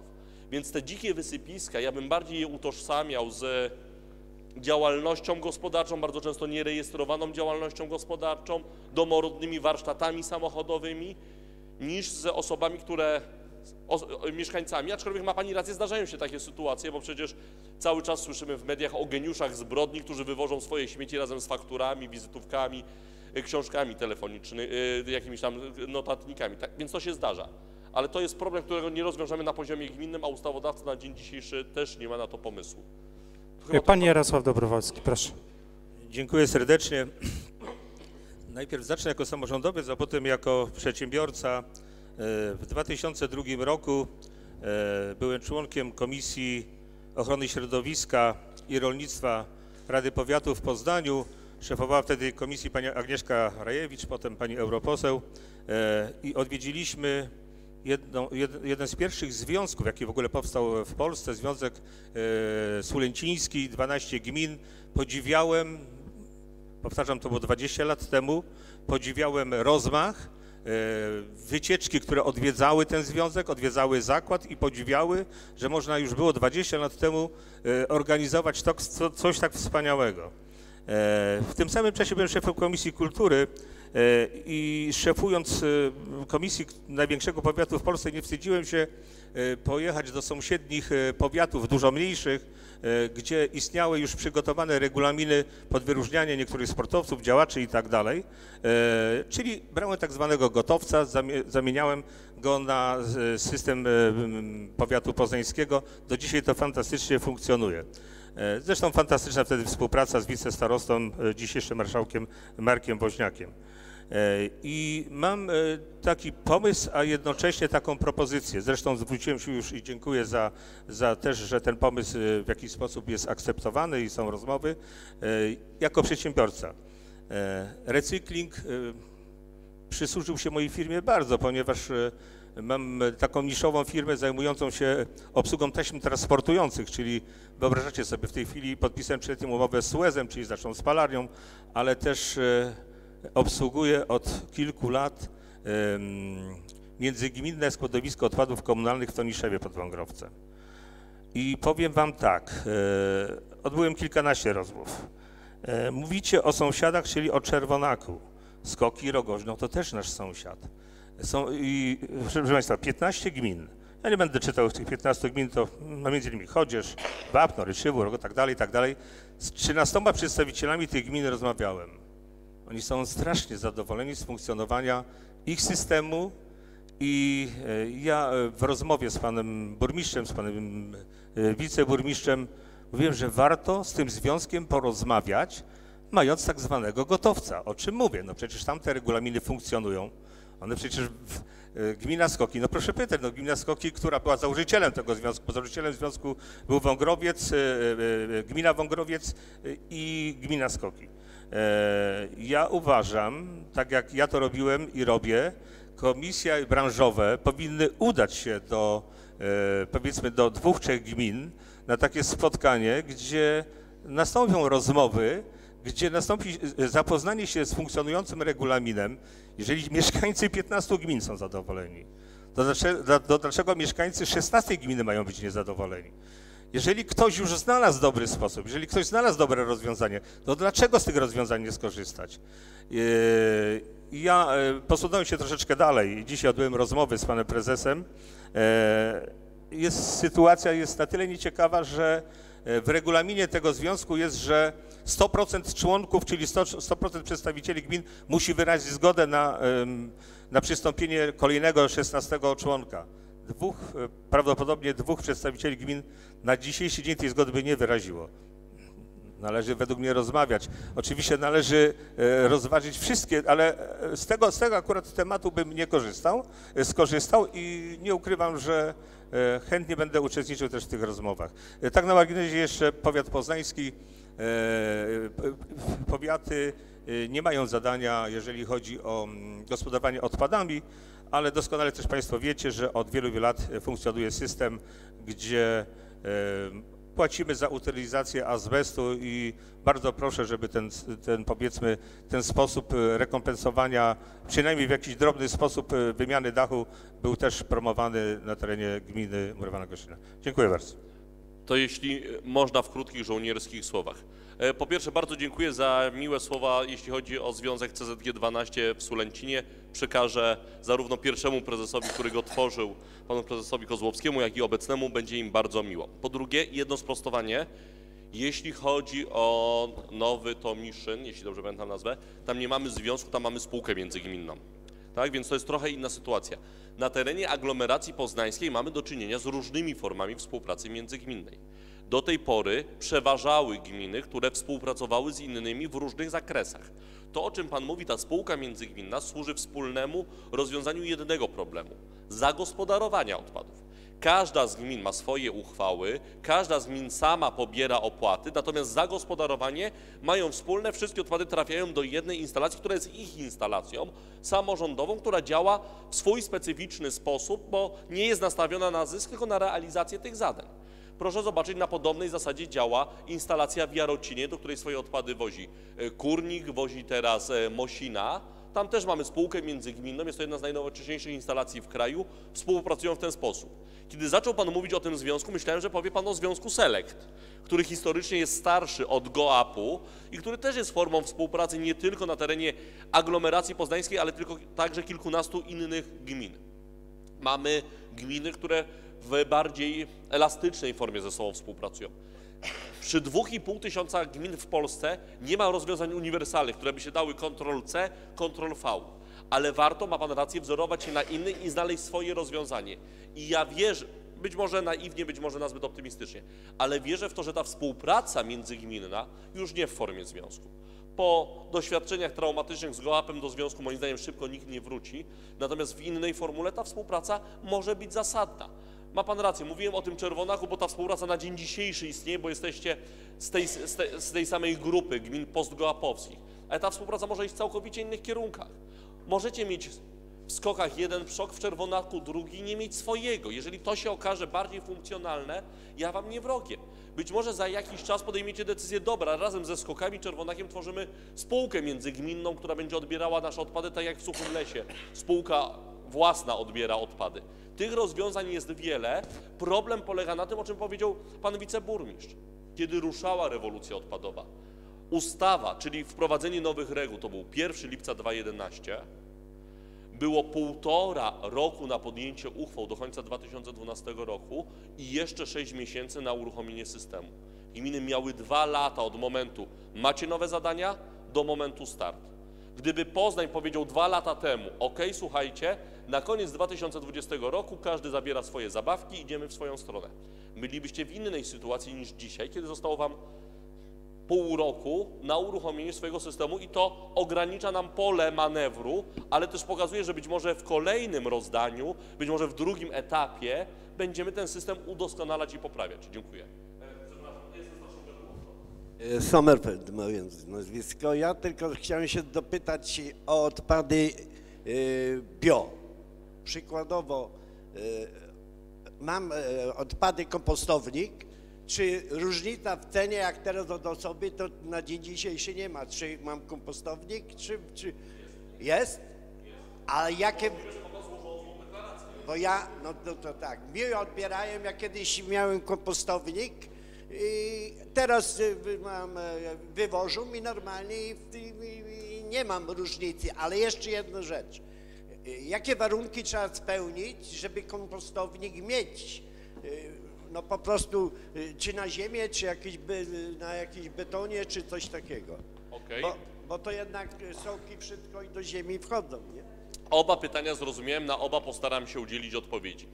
Państwa obowiązkiem jako radnych będzie uchwalenie zwolnienia kompostownikowego, czyli dla tych właścicieli nieruchomości zamieszkałych jednorodzinnych, którzy chcą kompostować i zgłosić kompostownik, jest Państwa obowiązkiem uchwalić zwolnienie i dostosować deklarację.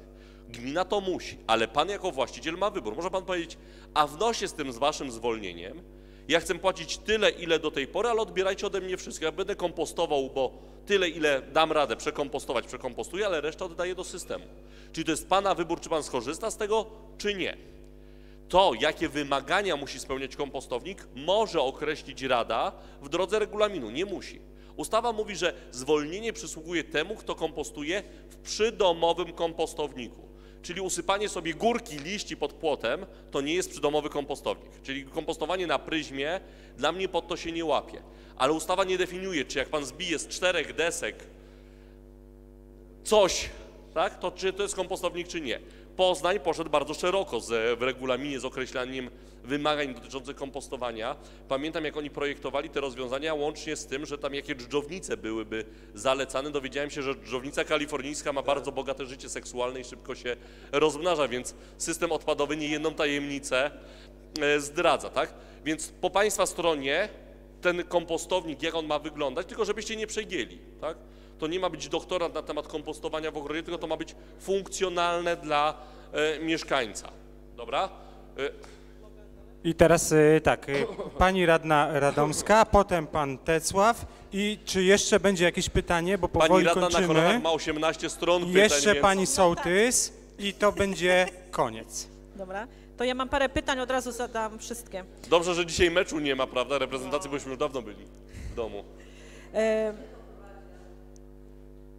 To pierwsze pytanie, powiedział Pan, żeby w murowanej nie robić e, podziału na sektory, a ja mam pytanie, czy jednak nie zastanowić się nad podziałem e, sektorów, e, chociażby dwóch, bo mamy 23 sołectwa i mamy zupełnie inną zabudowę osiedlową, czyli spółdzielnie. Czy nie zrobić jednak podziału, bo jest zupełnie inna metoda wywozu śmieci. No, w spółdzielni mamy kosze, tak zwane moloki. To jest zupełnie inny odbiór niż przy każdej posesji. Czyli jednak nie zastanowić się tutaj, jakby, co Pan doradza, e, nad, tymi, nad podziałem na sektory. Okej, a mogę od razu? To, to Tak. Tylko zobaczcie, sektory służą temu, żeby zwiększyć konkurencyjność, czyli doprowadzić do sytuacji, w której być może jeden wykonawca nie miałby potencjału, żeby obsługiwać całą gminę, ale jak podzielimy to na dwie części, to ci mniejsi będą mogli wystartować. Zgodnie z rozporządzeniem ministra środowiska i tak przedsiębiorca, żeby móc być wpisanym do rejestru działalności regulowanej, musi mieć pięć pojazdów. Te pięć pojazdów, które musi mieć minimalnie, wystarczą na obsługę państwa gminy. Więc to nie jest tak, że jest jakiś mały przedsiębiorca na rynku, który obsługiwałby pół mu- murowanej gośliny, ale nie ma potencjału na całą murowaną. Tak? Więc w tym momencie to nie zwiększy ilości zainteresowanych podmiotów. Państwo i tak dostaniecie najpewniej rykoszetem od tego, co się wydarzy na rynku poznańskim. Bo znowu, przy całej sympatii do Państwa, to nie jest tak, że firmy odpadowe z całego kraju dowiedzą się, ła, murowana goślina będzie miała przetarg, ruszamy. Tak? Te firmy będą startowały w przetargach poznańskich i próbując walczyć o rynek poznański, powiedzą, ok, jak już mamy rynek poznański, to ta murowana goślina to jest dzielnica Poznania, to jest pod Poznaniem gdzieś, prawda? Bierzemy, tak? Więc moim zdaniem to nie wpłynie na konkurencyjność, natomiast w specyfikacji inaczej wygląda opis świadczenia usługi w tej zabudowie wielorodzinnej, bo inaczej ten odbiór wygląda u pana prezesa w spółdzielni, a inaczej jak ja jadę przez pola, łąki, lasy do tych 40 domów u pani e, w sołectwie, żeby to odebrać. Ale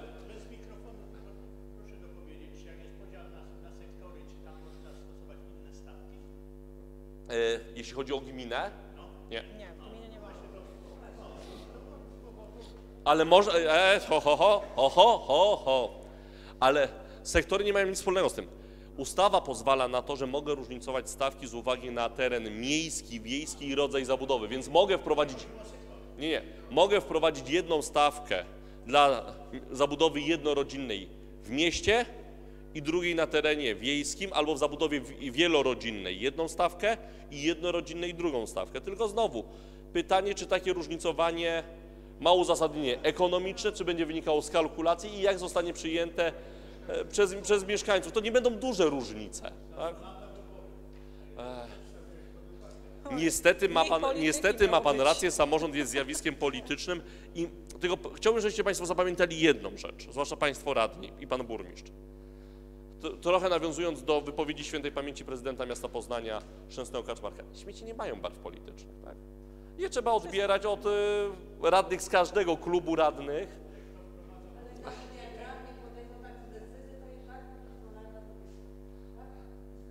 Okej. I w, w obie strony, tak? Dlate, dlatego ważne jest, żebyście te decyzje wypracowali wspólnie. I burmistrz, i radni, i sołtysi, bo na koniec wszyscy będziecie te śmieci od, wyrzucali według tych zasad. Dobra, to jadę dalej. Strona osie- 17 z 18. Jedziemy. Mamy teraz ten podział na e, niezamieszkałe.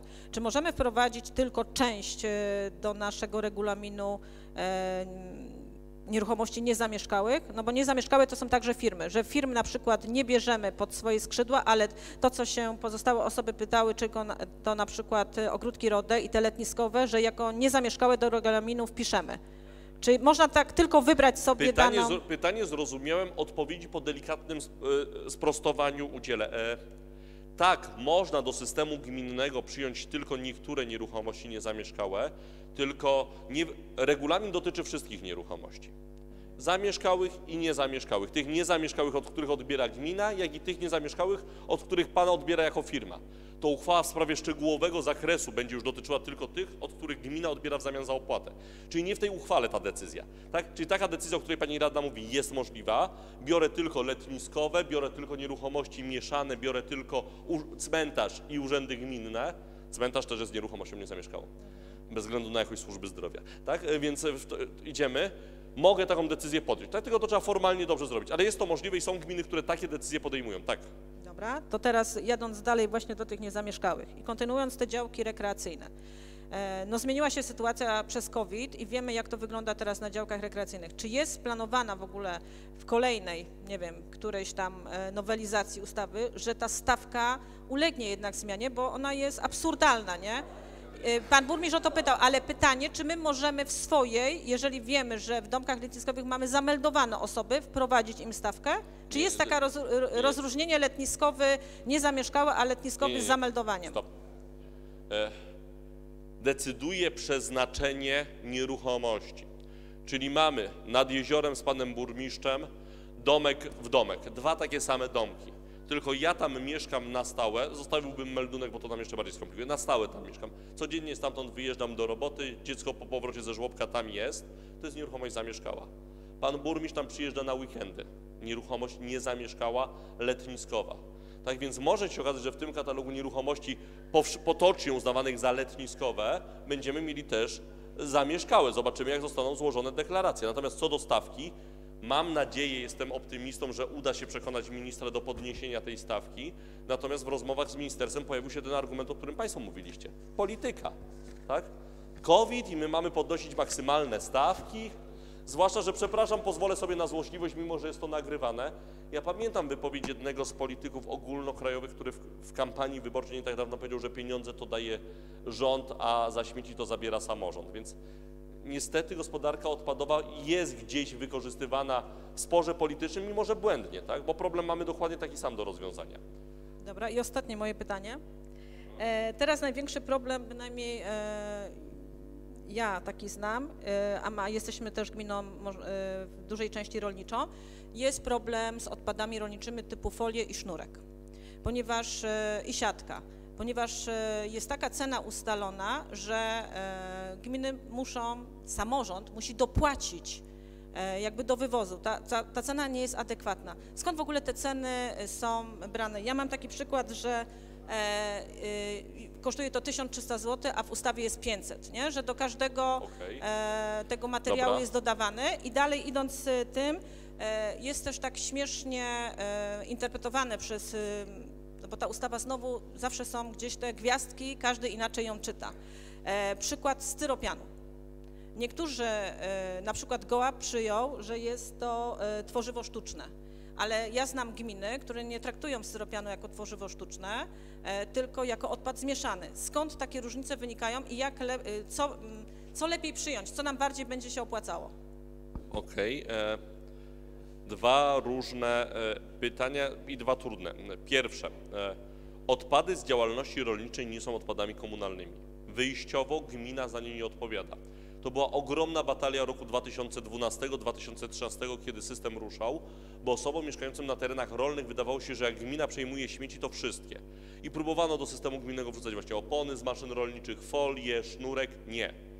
Gmina odbiera odpady z gospodarstw rolnych takie same, jak powstają w zabudowie rezydencjonalnej, jak powstają w zabudowie wielorodzinnej, czyli to związane z bytowaniem człowieka.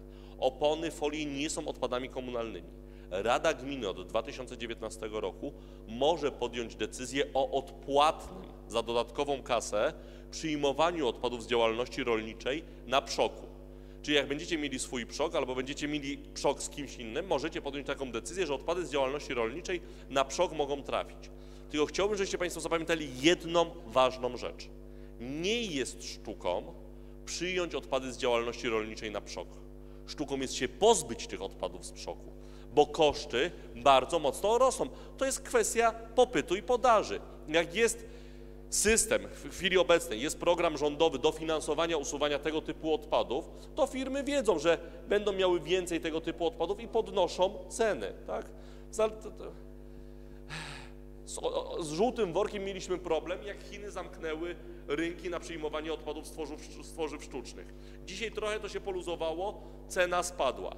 Dawno, dawno temu, kiedy części z Państwa nie było na świecie, to już naprawdę, to nawet Pan sekretarza nie wiem, czy, nie wiem, czy był na świecie, dawno, dawno temu to spalarnie płaciły gminom za to, żeby odpady dostarczały do spalarni. Cementownie płaciły. Cementownia kiedyś płaciła za dostarczanie frakcji energetycznej. Dlaczego? Bo było więcej miejsca w piecu niż rzeczy do spalenia. Dzisiaj, kiedy mam więcej odpadów do spalenia niż miejsca w piecu, płacę za to, że ktoś łaskawie otworzy piec i przyjmie te odpady. Natomiast e, z tym, o czym Pani mówi, jeśli chodzi o styropian, rzeczywiście. Ja mam na telefonie co najmniej aplikacje z trzech, czterech miast, takie poradniki, co segregować i są różnice. Sam się czasami gubię, czy opakowanie po chipsach, oczywiście nie jadam, to na wypadek jakby żona oglądała, zabrzydzę się, tak? Czy mogą być do żółtego, czy do czarnego. Z tym styropianem mamy podobną e, sytuację, to jest w ogóle dłuższa dyskusja. Szczecin parę lat temu zainicjował taką akcję, próbuje to zrobić, żeby Mówi się o takim pojęciu recyklingu życzeniowego, czyli my wrzucamy do tego żółtego worka więcej niż rzeczywiście pod, podlega recyklingowi, mając nadzieję, że cudownie coś się z tym wydarzy. My dzisiaj jesteśmy już na etapie nie tego, co ma być w którym z żółtym worków, tylko właśnie tym bardziej, specy, bardziej specjalistycznym podziale i tutaj sam nie potrafię do końca odpowiedzieć, gdzie ten styropian e, ma być. To przyznaję się, że sam miałbym e, wątpliwość. E, osobiście zbieram w piwnicy i wywożę raz na dwa miesiące na przok. Jest to dla mnie rozwiązanie najprostsze i wiem, że jestem absolutnie korekt, ale też, przepraszam, tak, to wiem, kończymy. Te, e, te rozwiązania, które Państwo przyjmujecie, naprawdę one wpływają na, na, na sytuację e, każdego człowieka. Prosty przykład. Ja oprócz tego, że jestem gadułą odpadowym, jestem użytkownikiem systemu. I osobiście, i mówię o tym od wielu lat, mając nadzieję, że może ktoś z Goapu zorientuje się, gdzie mieszkam i zmieni mi pojemnik, nic mnie tak nie wkurza jak pojemnik, który mam u siebie w altance śmietnikowej. Mam pojemnik na tworzywa sztuczne typu iglo z malutkim otworem na wrzucenie odpadów. Za każdym razem czuję się jak bohater, bo prowadzę heroiczną walkę, żeby wyrzucić odpady. Ja rozumiem ideę, żeby ktoś tam plastikowego krzesełka nie wrzucił, ale płyn po, y, od płukania, butelka po płynie od płukania, żeby tam wcisnąć, naprawdę, jak kretyn siłuje się, żeby to wepchnąć, mając obok otwarty pojemnik czarny na odpady resztkowe, który do mnie mówi, wykorzystaj mnie, tak? Wrzuć te odpady, bo mógłbym to wszystko ciapnąć i pójść dalej, tak? A walczę, żeby to wrzucić do środka. I to są takie drobne, małe. A wiem, że w innych altankach śmietnikowych na moim osiedlu są całkiem inne pojemniki. Jak mam więcej czasu, to po prostu idę na spacer i wynoszę to w inne miejsce tylko dlatego, że fi otworu jest delikatnie większe i ta butelka już wchodzi. No ale wtedy nie mogę być bohaterem, prawda? Więc czasem warto.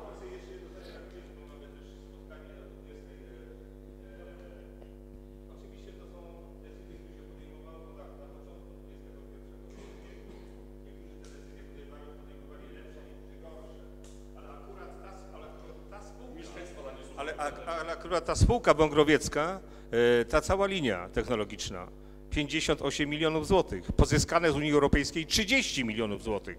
I to są sytuacje, to są zmarnowane szanse niektórych gmin, które po prostu albo źle się do, dokleiły, albo podejmowały złe decyzje, no po prostu sytua- z- e, e, stracone szanse, powtarzam, to jest początek XXI wieku, kiedy niektórzy podjęli decyzje na dzisiejszy dzień bardzo słuszne, a niektórzy po prostu no, nie trafili w te właśnie. Mówię, ZGO Jarocin kilkaset milionów złotych w kilku transzach na realizację zakładu. Zachęcam Państwa kiedyś jako komisja czy jako rada, żeby pojechać i zobaczyć, co się z tymi odpadami dzieje, jakie zakłady powstają, bo to też pozwala trochę lepiej zrozumieć system. Ostatnie pytanie, pan Tecław i potem mamy trzy pytania. e. A, jeszcze pani sołtys. Czemu pani nie podnosi ręki? Dobrze, to pani sołtys, a pani... No tak, no to zgadza się. Dobrze, pani sołtys. Chciałabym proszę. zapytać, no takie krótkie pytanie, czy jest możliwość łączenia e, sposobu e, na przykład e, procentowo, nie, dwóch sposobów odbierania odpady, na przykład na osobę i z, z, według zużycia wody?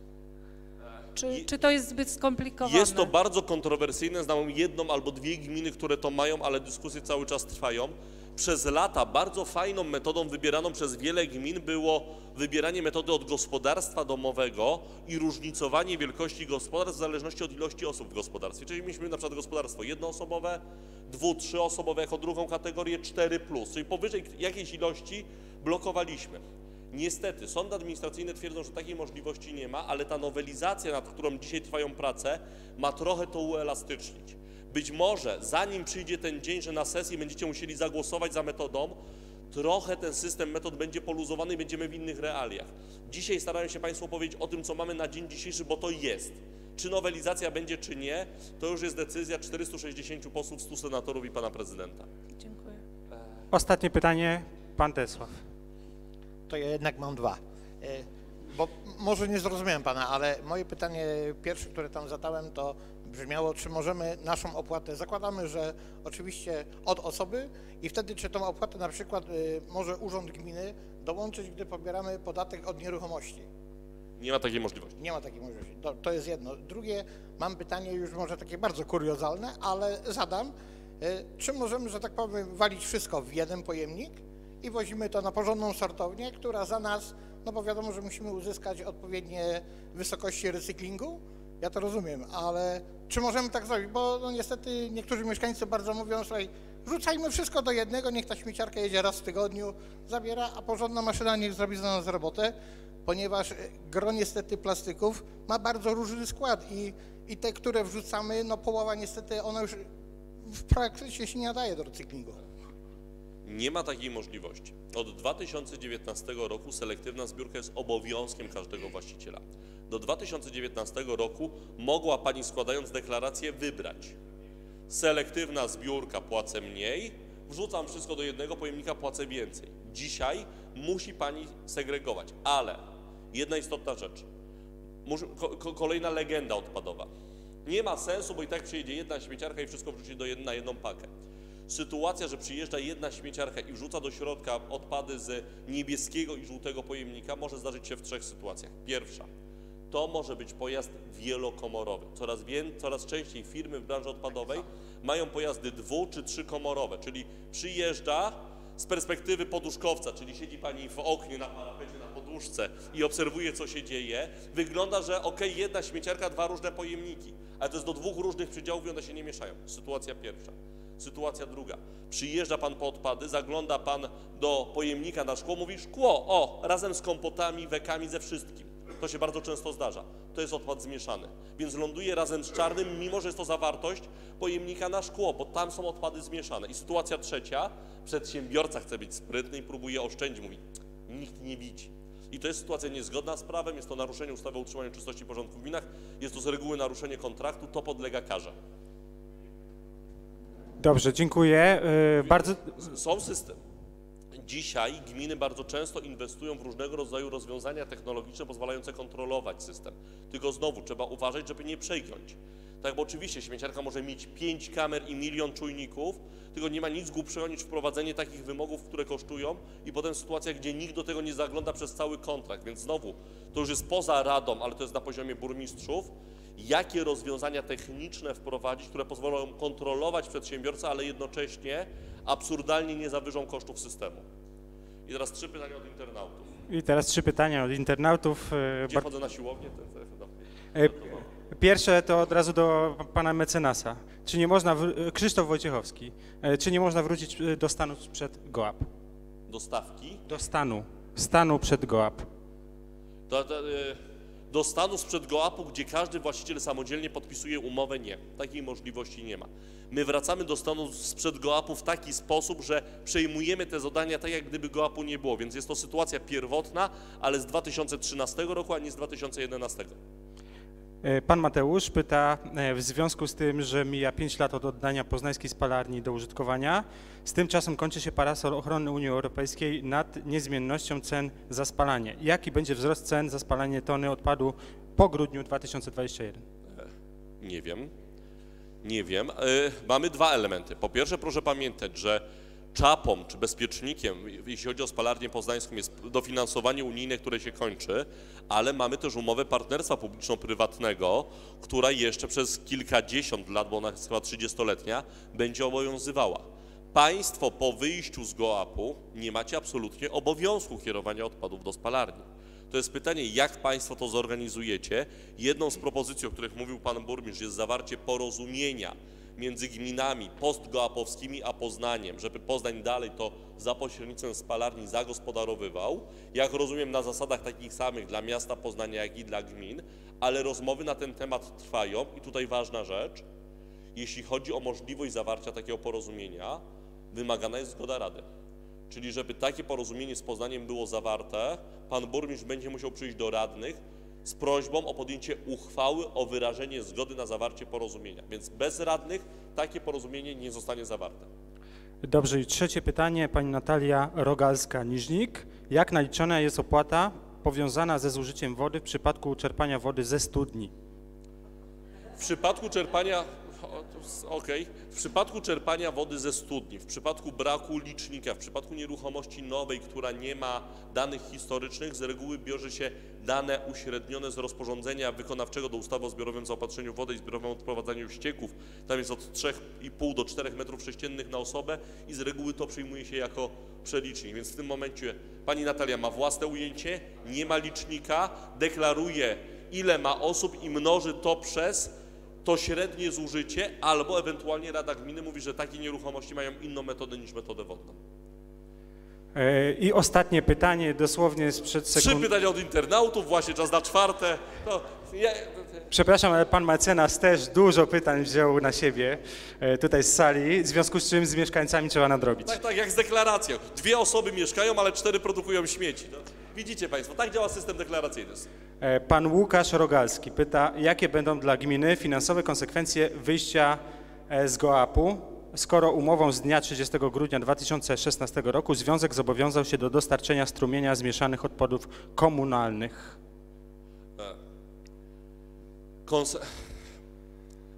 Znaczy, w chwili obecnej jesteśmy w sytuacji pod względem prawnym pasjonującej. Naprawdę myślę, że doktoraty na ten temat będą powstawały. My jeszcze, to znaczy my, Państwo nie podjęliście decyzji o likwidacji związku. Na chwilę obecną, do końca czerwca, gminy mają możliwość podjęcia uchwały o wystąpieniu ze związku. Więc teoretycznie ktoś prześpi swój moment i będzie musiał zgasić światło. Nowa rzeczywistość pojawi się po, po 30 czerwca, kiedy będzie trzeba podjąć męską decyzję, wchodzimy w procedurę likwidacyjną. Więc konsekwencje finansowe dla gminy to po pierwsze ewentualne zobowiązania gołapowskie, których związek nie będzie w stanie pokryć. E, Z informacji medialnych, bo na takich bazuje, wynika, że związek będzie w stanie tym wegetatywnym jeszcze przez około 5 lat. Czyli kończenie wszystkich spraw, ściąganie zaległości, rozliczanie się, to będzie około 5 lat. Z roku na rok tych osób pracujących w biurze związku będzie coraz mniej, on będzie coraz cichszy, słab, słab, słab, aż za 5 lat sztandar wyprowadzić. Konsekwencja druga, na którą nie wiemy, jak, jak, się, jak, jak rynek się zachowa, to wynik przetargowy. Tak? Państwa obowiązkiem jest przygotować ten przetarg. Ale jakie oferty wpłyną, tego nie wiemy. Czy firmy będą się biły o rynek e, murowanej gośliny? Czy będzie kilka ofert i będzie walka? Czy też wystartuje jeden oferent i przedstawi swoją ofertę? Zobaczymy. Tak? E, Więc tutaj kwestie finansowe to jest po pierwsze GOAP, jak, jak sytuacja będzie wyglądała, po drugie konsekwencja państwa decyzji co do zakresu usług, po trzecie wynik przetargowy, który równie dobrze może nie zakończyć się w pierwszej rundzie i będziemy mieli dogrywkę. Zachęcam Państwa do obserwacji sytuacji w Kurniku. E, Gmina Kurnik jest na etapie postępowania przetargowego. Na przełomie czerwca i lipca będzie otwarcie ofert. Zobaczymy, ile ofert na obsługę kurnika wpłynie, jakie będą wartości, czy będzie walka między oferentami, czy też jedna, jedna, jedyna. Znam sytuację, już naprawdę kończę, gdzie część gmin w Polsce cieszy się, jeżeli wpływa jedna oferta. Znaczy chociaż jedna oferta, bo ktoś będzie śmieci e, odbierał.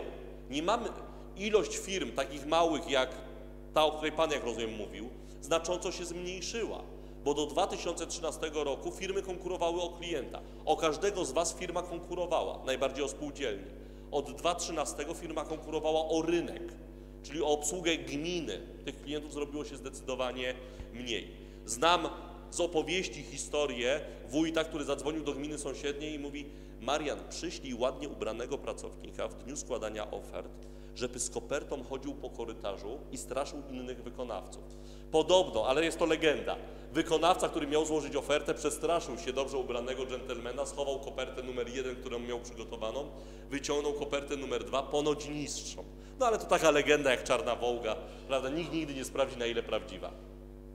E, Tym samym e, odpowiem na ostatnie pytanie, e, czy debata będzie potem dostępna na stronie miasta i gminy Murowana Gościna. Tak, oczywiście potwierdzam. I cały czas Państwo mogą komentować w internecie i zadawać kolejne pytania, mimo że debata się skończy. Wtedy będziemy starać się odpowiadać z ramienia urzędu, pan burmistrz, zastępca, pan sekretarz oraz Państwo urzędnicy będą przygotowywać takie odpowiedzi. E, Myślę, że e, tym miłym akcentem e, zakończymy tą debatę. Jest chwila przed godziną 20. Naprawdę debata była bardzo, wydaje mi się, owocna. Było bardzo dużo pytań. Widać, że temat interesuje zarówno mieszkańców, radnych, sołtysów, państwa od zarządu nieruchomościami. Mam nadzieję, że dyskusja będzie się e, dalej w ten sposób merytoryczny e, toczyła e, i tym samym e, zakończę dzisiejsze spotkanie. Bardzo Państwu dziękuję i do zobaczenia na następnej takiej debacie. Dziękuję bardzo. Bardzo dziękuję. Do widzenia.